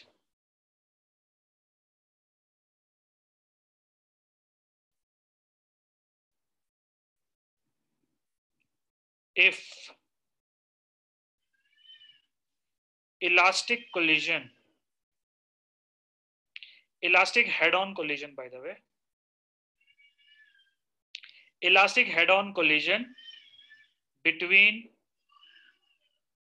two equal masses. What if U2 is zero? What if U2 was zero? Initially, if M2 was at rest, this object, this is this is suppose at rest before the collision. Then what will happen after collision? If M2 was at rest before the collision, M1 will be at rest after the collision. Are you able to understand this? Everyone?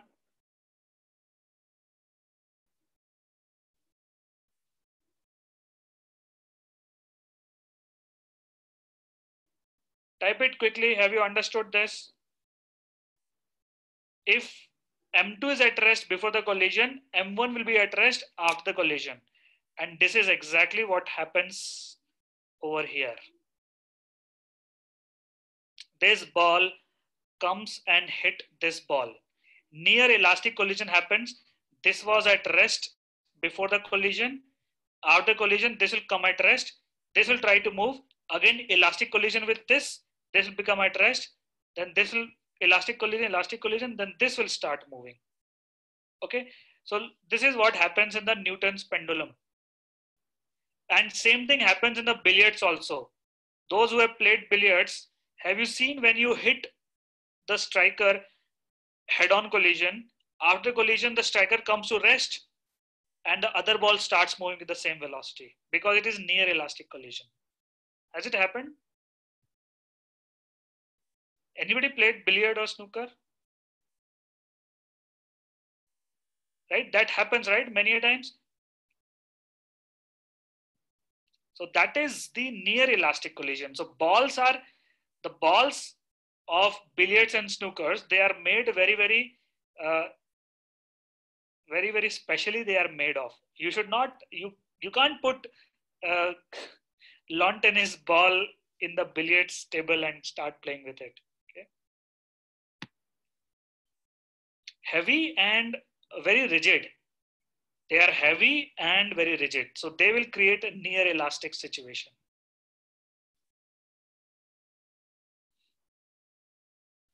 All right. This is what perfectly elastic collision, wherein after the collisions, velocity get exchanged if masses are equal and kinetic energy is conserved. Now let's talk about perfectly perfectly inelastic collision. Have they discussed it in school when they taught collision? Whatever we are doing?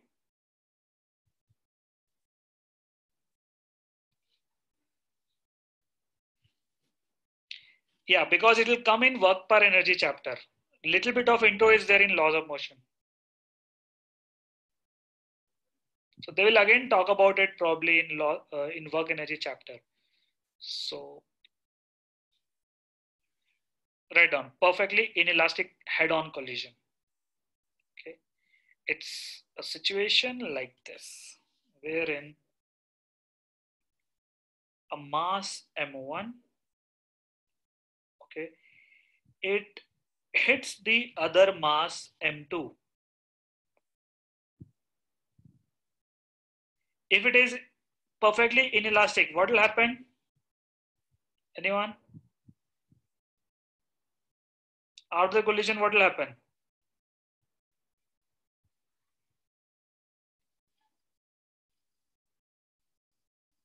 They will start moving together. They start moving together. V so you have to do these two things. Numerical take it like a numerical okay? This is not theory. Again i'm repeating. Ah.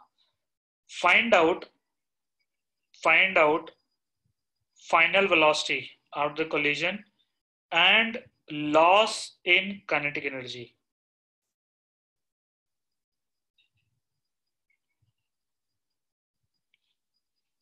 Find out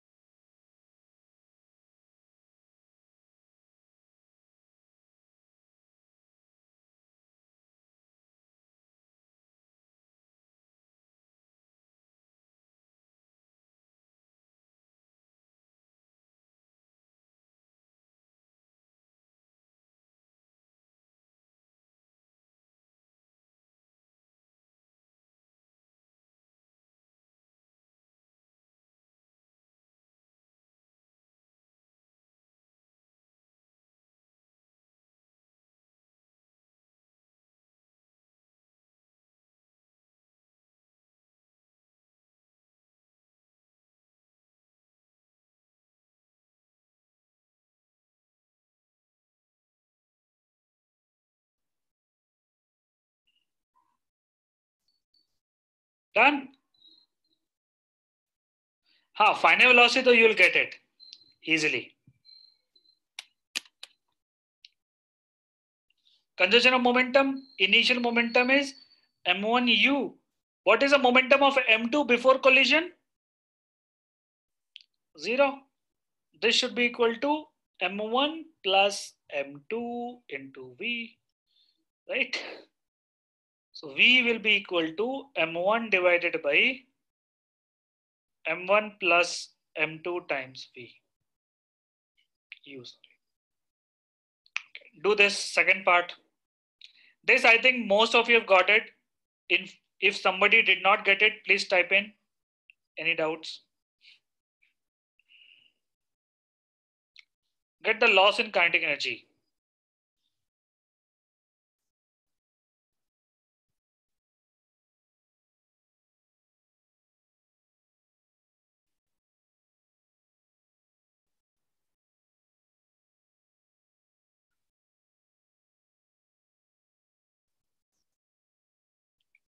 Loss in kinetic energy should be equal to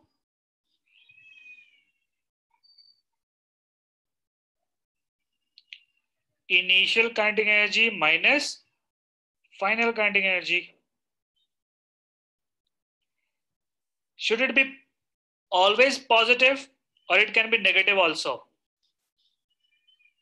Can it be always positive or can be negative? What is the minimum value of loss? Can it be negative? Okay.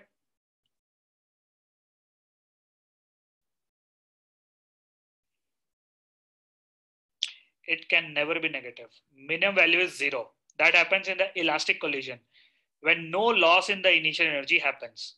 energy cannot be created on its own. Suddenly, final kinetic energy will not come out of nowhere in this case. Okay. However, when a bomb explodes, then it can be negative. Finite kinetic energy is there, but initially it was zero because chemical energy got converted into kinetic energy. Anyways, initial kinetic energy is half m1 u square. Final is half m1 plus m2 this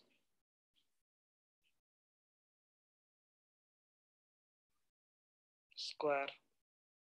Okay, so the loss in the kinetic energy will come out to be half of m1 m2 divided by m1 plus m2 times u square. So it's a positive quantity you're getting.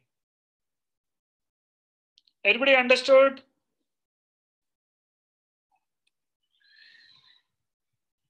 Clear? All right, so we have learned about the head-on collision, which are uh, elastic, which is one extreme, and perfectly inelastic, that is other extreme. But then these are the two extreme scenarios.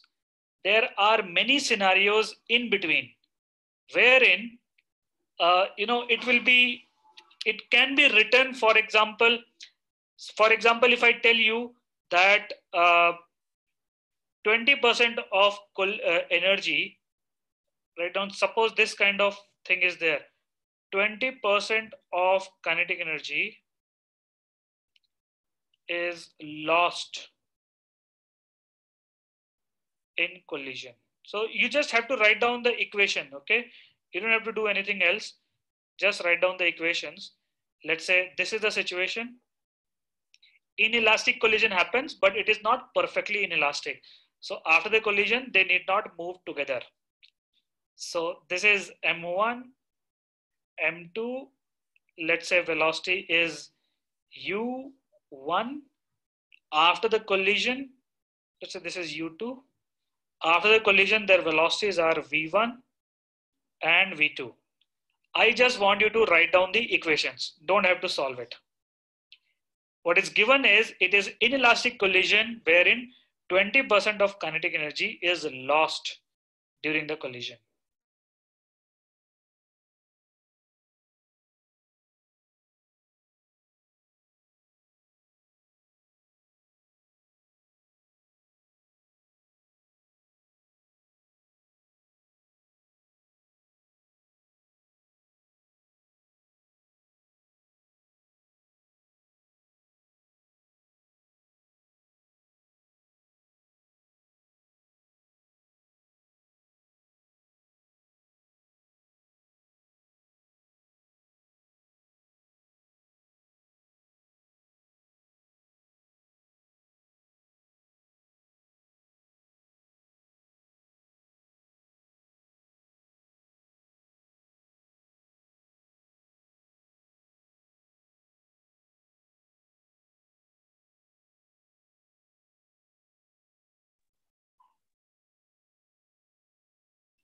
Let me know once you're done.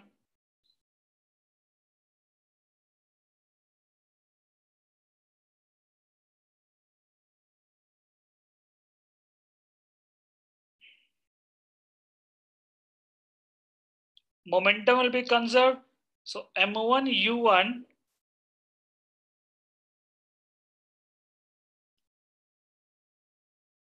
everybody would have got this. How to write the energy equation?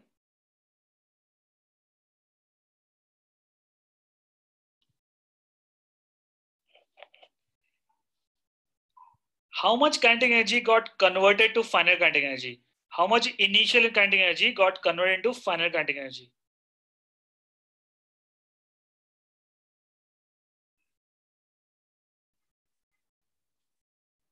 Eighty percent or 0.8 times. So 0.8 times the initial kinetic energy m1 u1 square plus half of m2 u2 square this become equal to the final kinetic energy. Anyone has any doubt quickly type it. This is inelastic collision only but partially inelastic collision. Everyone understood this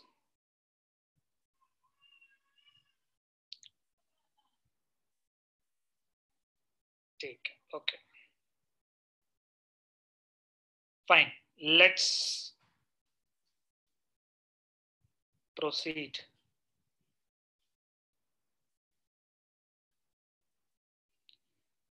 Um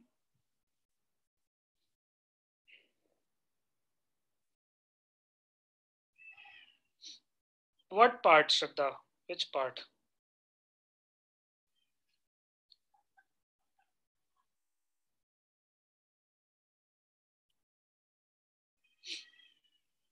last part. See 20% of energy is lost isn't it? So 80% of initial energy is able to convert itself to final energy. 20% is lost. So that is a 0.8 times of initial is equal to final. Understood? Write down coefficient of restitution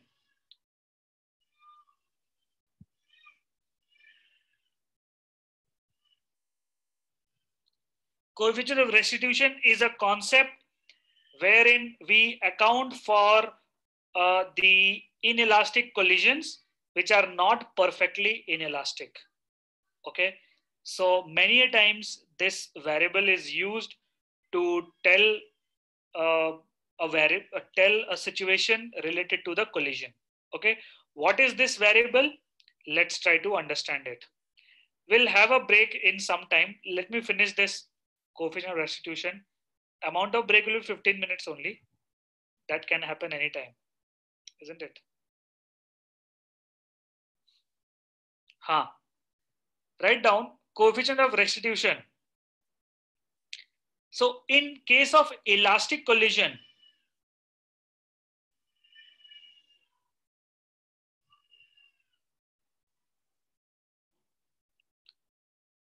the velocity of separation was equal to velocity of approach.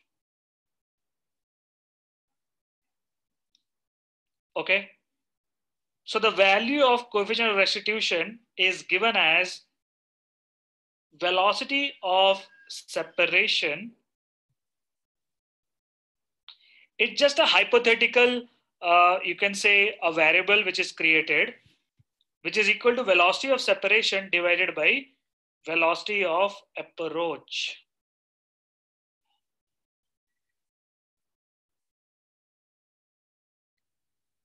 Okay, now tell me the value of coefficient of restitution in case of elastic collision. For elastic collision, what is E?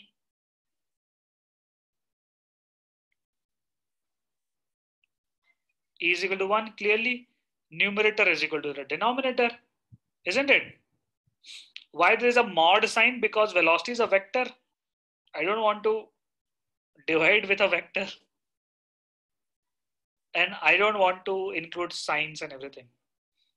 Just the way it is like I have created it. I can create it any which way, right? Just like that. Elastic collision is coefficient of restitution is equal to 1 what about perfectly inelastic collision?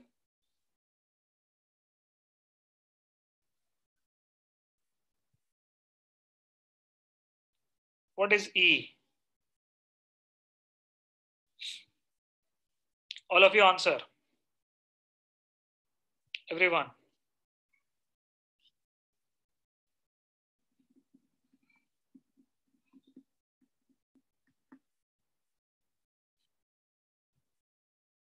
Think over it and answer, everyone. Two bodies are colliding perfect, perfectly inelastic. Perfect. The other extreme.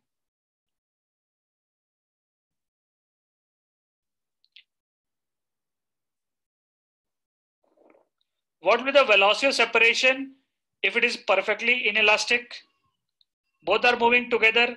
Velocity separation will be zero. Right? So numerator becomes zero so no matter what is the denominator, E will be zero. So one extreme has E is equal to one, other extreme has E equal to zero. So for everything else, E has to be between 0 and 1. You can say everything is included in this. All right. So many a times in your numericals, the value of E is given. Okay. E can be given as let's say 0.6 or I can tell you E is 0.7 like that. So if I give you the value of E, you have to write down the equation related to it. You have to find out what is the velocity of separation, what is the velocity of approach, divide it and equate that to whatever is the value of E. Okay. And again, I am writing here that velocity of separation and approach to be taken along the common normal. So this concept of coefficient of restitution is valid not just for the head-on collision, but for any type of collision. Okay, oblique collision, any type of collision you can think of, E you can have in the question. Okay.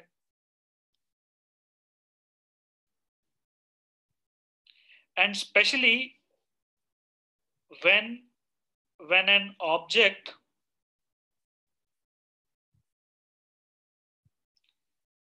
collides with infinite mass object we can't uh, you know we can't write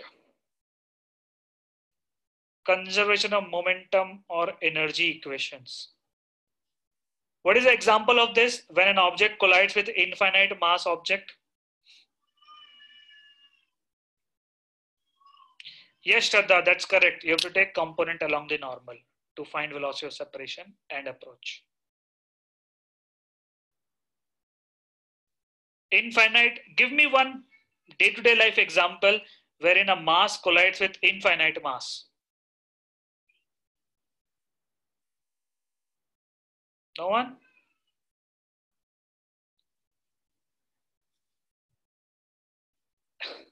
Ball hitting the ground, right? Ball hitting to the ground or ball hitting to your floor. Okay.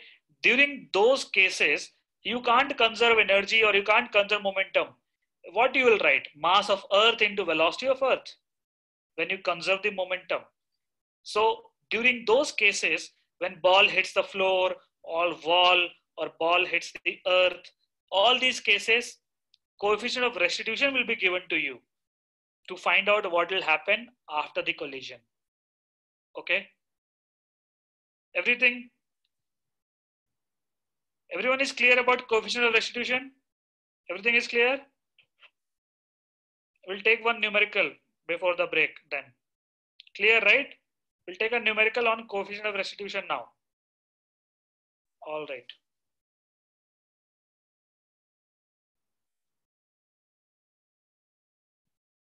Okay. Don't hold your doubts to yourself. Please ask the doubts. Okay. Doubts are the ones wherein maximum amount of learning happens. And doubt has to be specific. It cannot be that, okay, this can you do it again or something like that. It has to be very specific like um, you know we can say coefficient restitution can it be this? If that scenario happens what will be that? So something like this try to create doubts. It will be better for you okay even if you don't have doubts try to think in a critical manner doubt will automatically come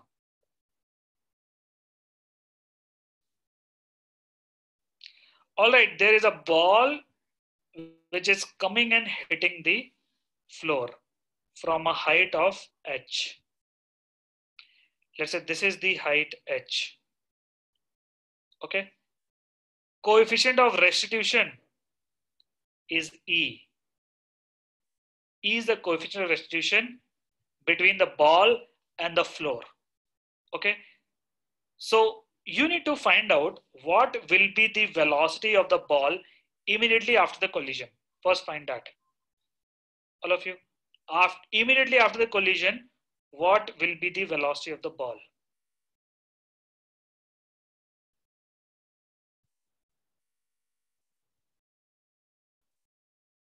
Of course, it, is, it has to be upwards. Okay, how much?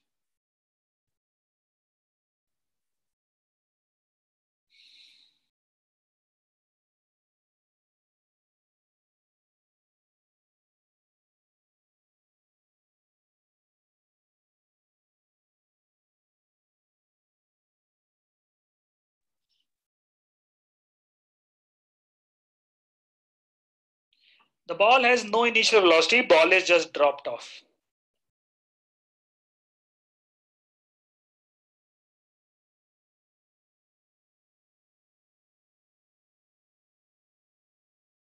Did we meet after your JEE advanced test? Sorry, came on test, advanced test. Did I talk about it? Okay. So I've seen uh, I want more and more of you coming there. Yours is the biggest batch. Toppers are, see some names there. Very few names I can see in top 10.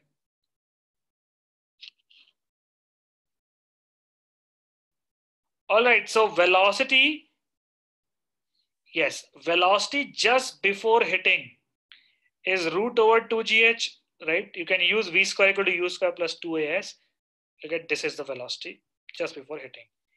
E is what? Velocity of separation, which is what you want to find out, divided by velocity of approach, which is what? Root 2gh. Velocity of separation divided by approach is E. So velocity of separation is E times velocity of approach. Just this.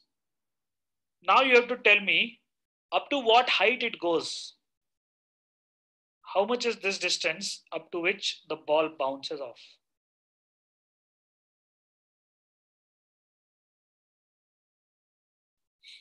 H1 is what? If you answer immediately, your answer is wrong immediately.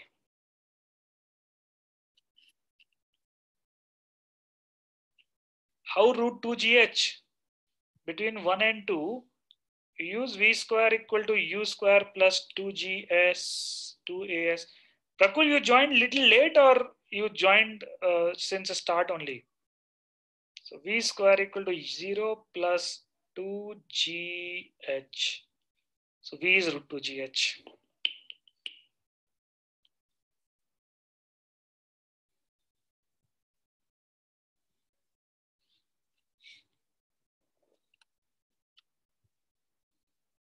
No, then if you joined after the bridge program, you must be must have solved a lot of questions on kinematics. We have discussed it. All right. Anybody got this? H1? Very good. Rohan got it. Archit got it. Again, you have to use this equation only. V square equal to U square plus 2AS. But now you are using between this point and the point over here. What is the final velocity at the maximum height over here? Zero. Initial velocity is this velocity square, that is E square into 2GH. Acceleration is what? What is A?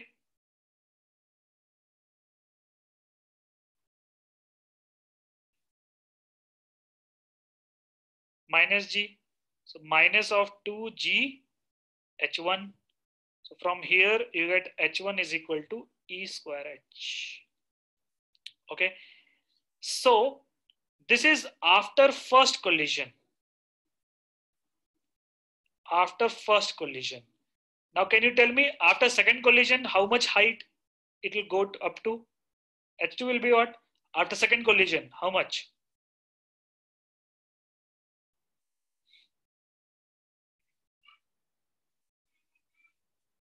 You don't have to do it again. Understand the pattern here. Now E square H1. E square H1 now. So it will be e to the power 4 times h. Then h3 is e square of this, which is e to the power 6h, like that. Okay. So suppose you have to find out the total distance it travels before coming to rest. Can you create a series, all of you?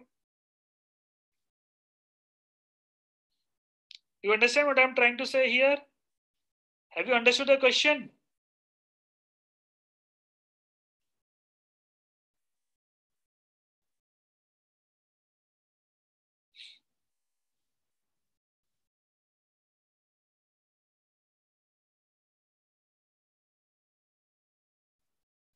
Okay, just create a series, write down five, six terms and show that you have to add these terms to get the total distance traveled.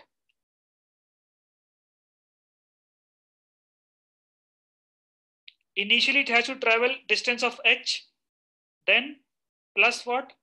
What should I write? Plus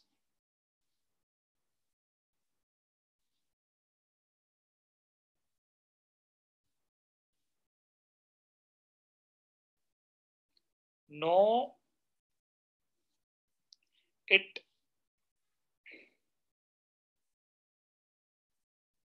Don't you think it will be 2 times e square h?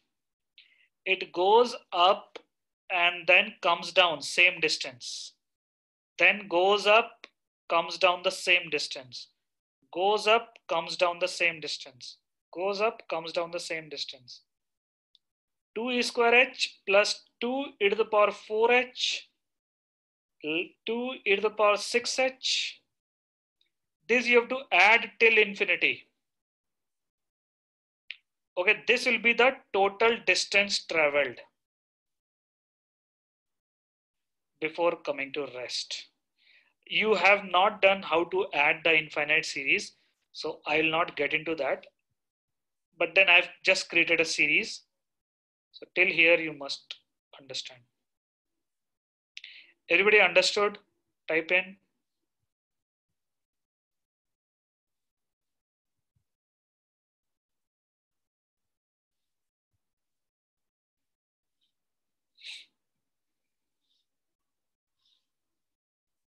Everyone type, have you understood? If there is a doubt, type your doubts clearly and quickly.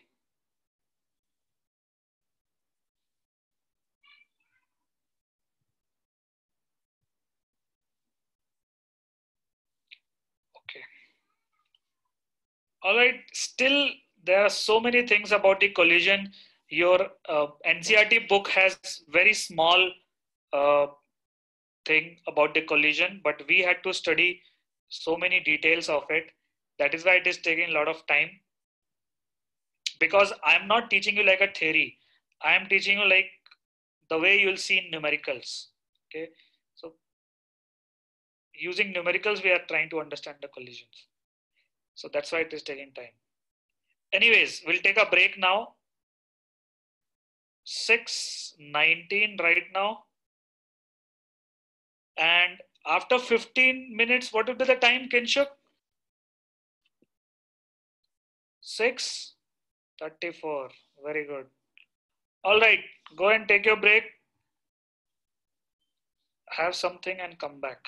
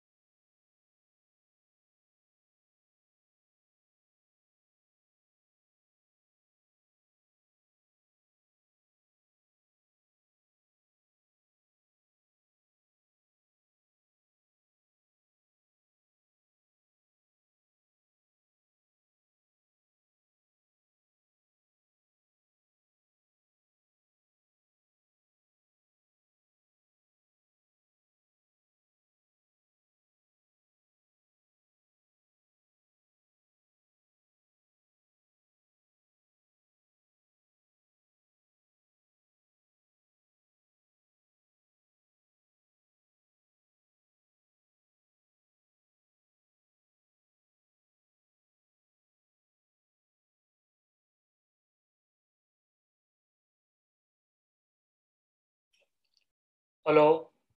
Am I audible?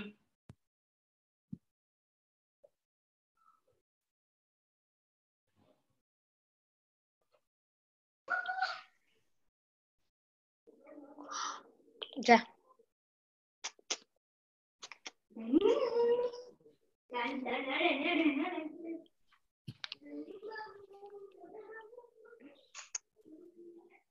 Are you able to hear me?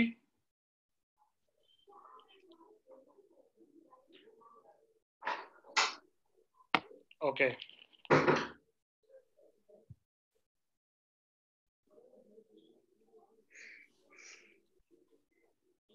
All right, so let us start, as in continue. We were studying collisions, and till now we had studied the head on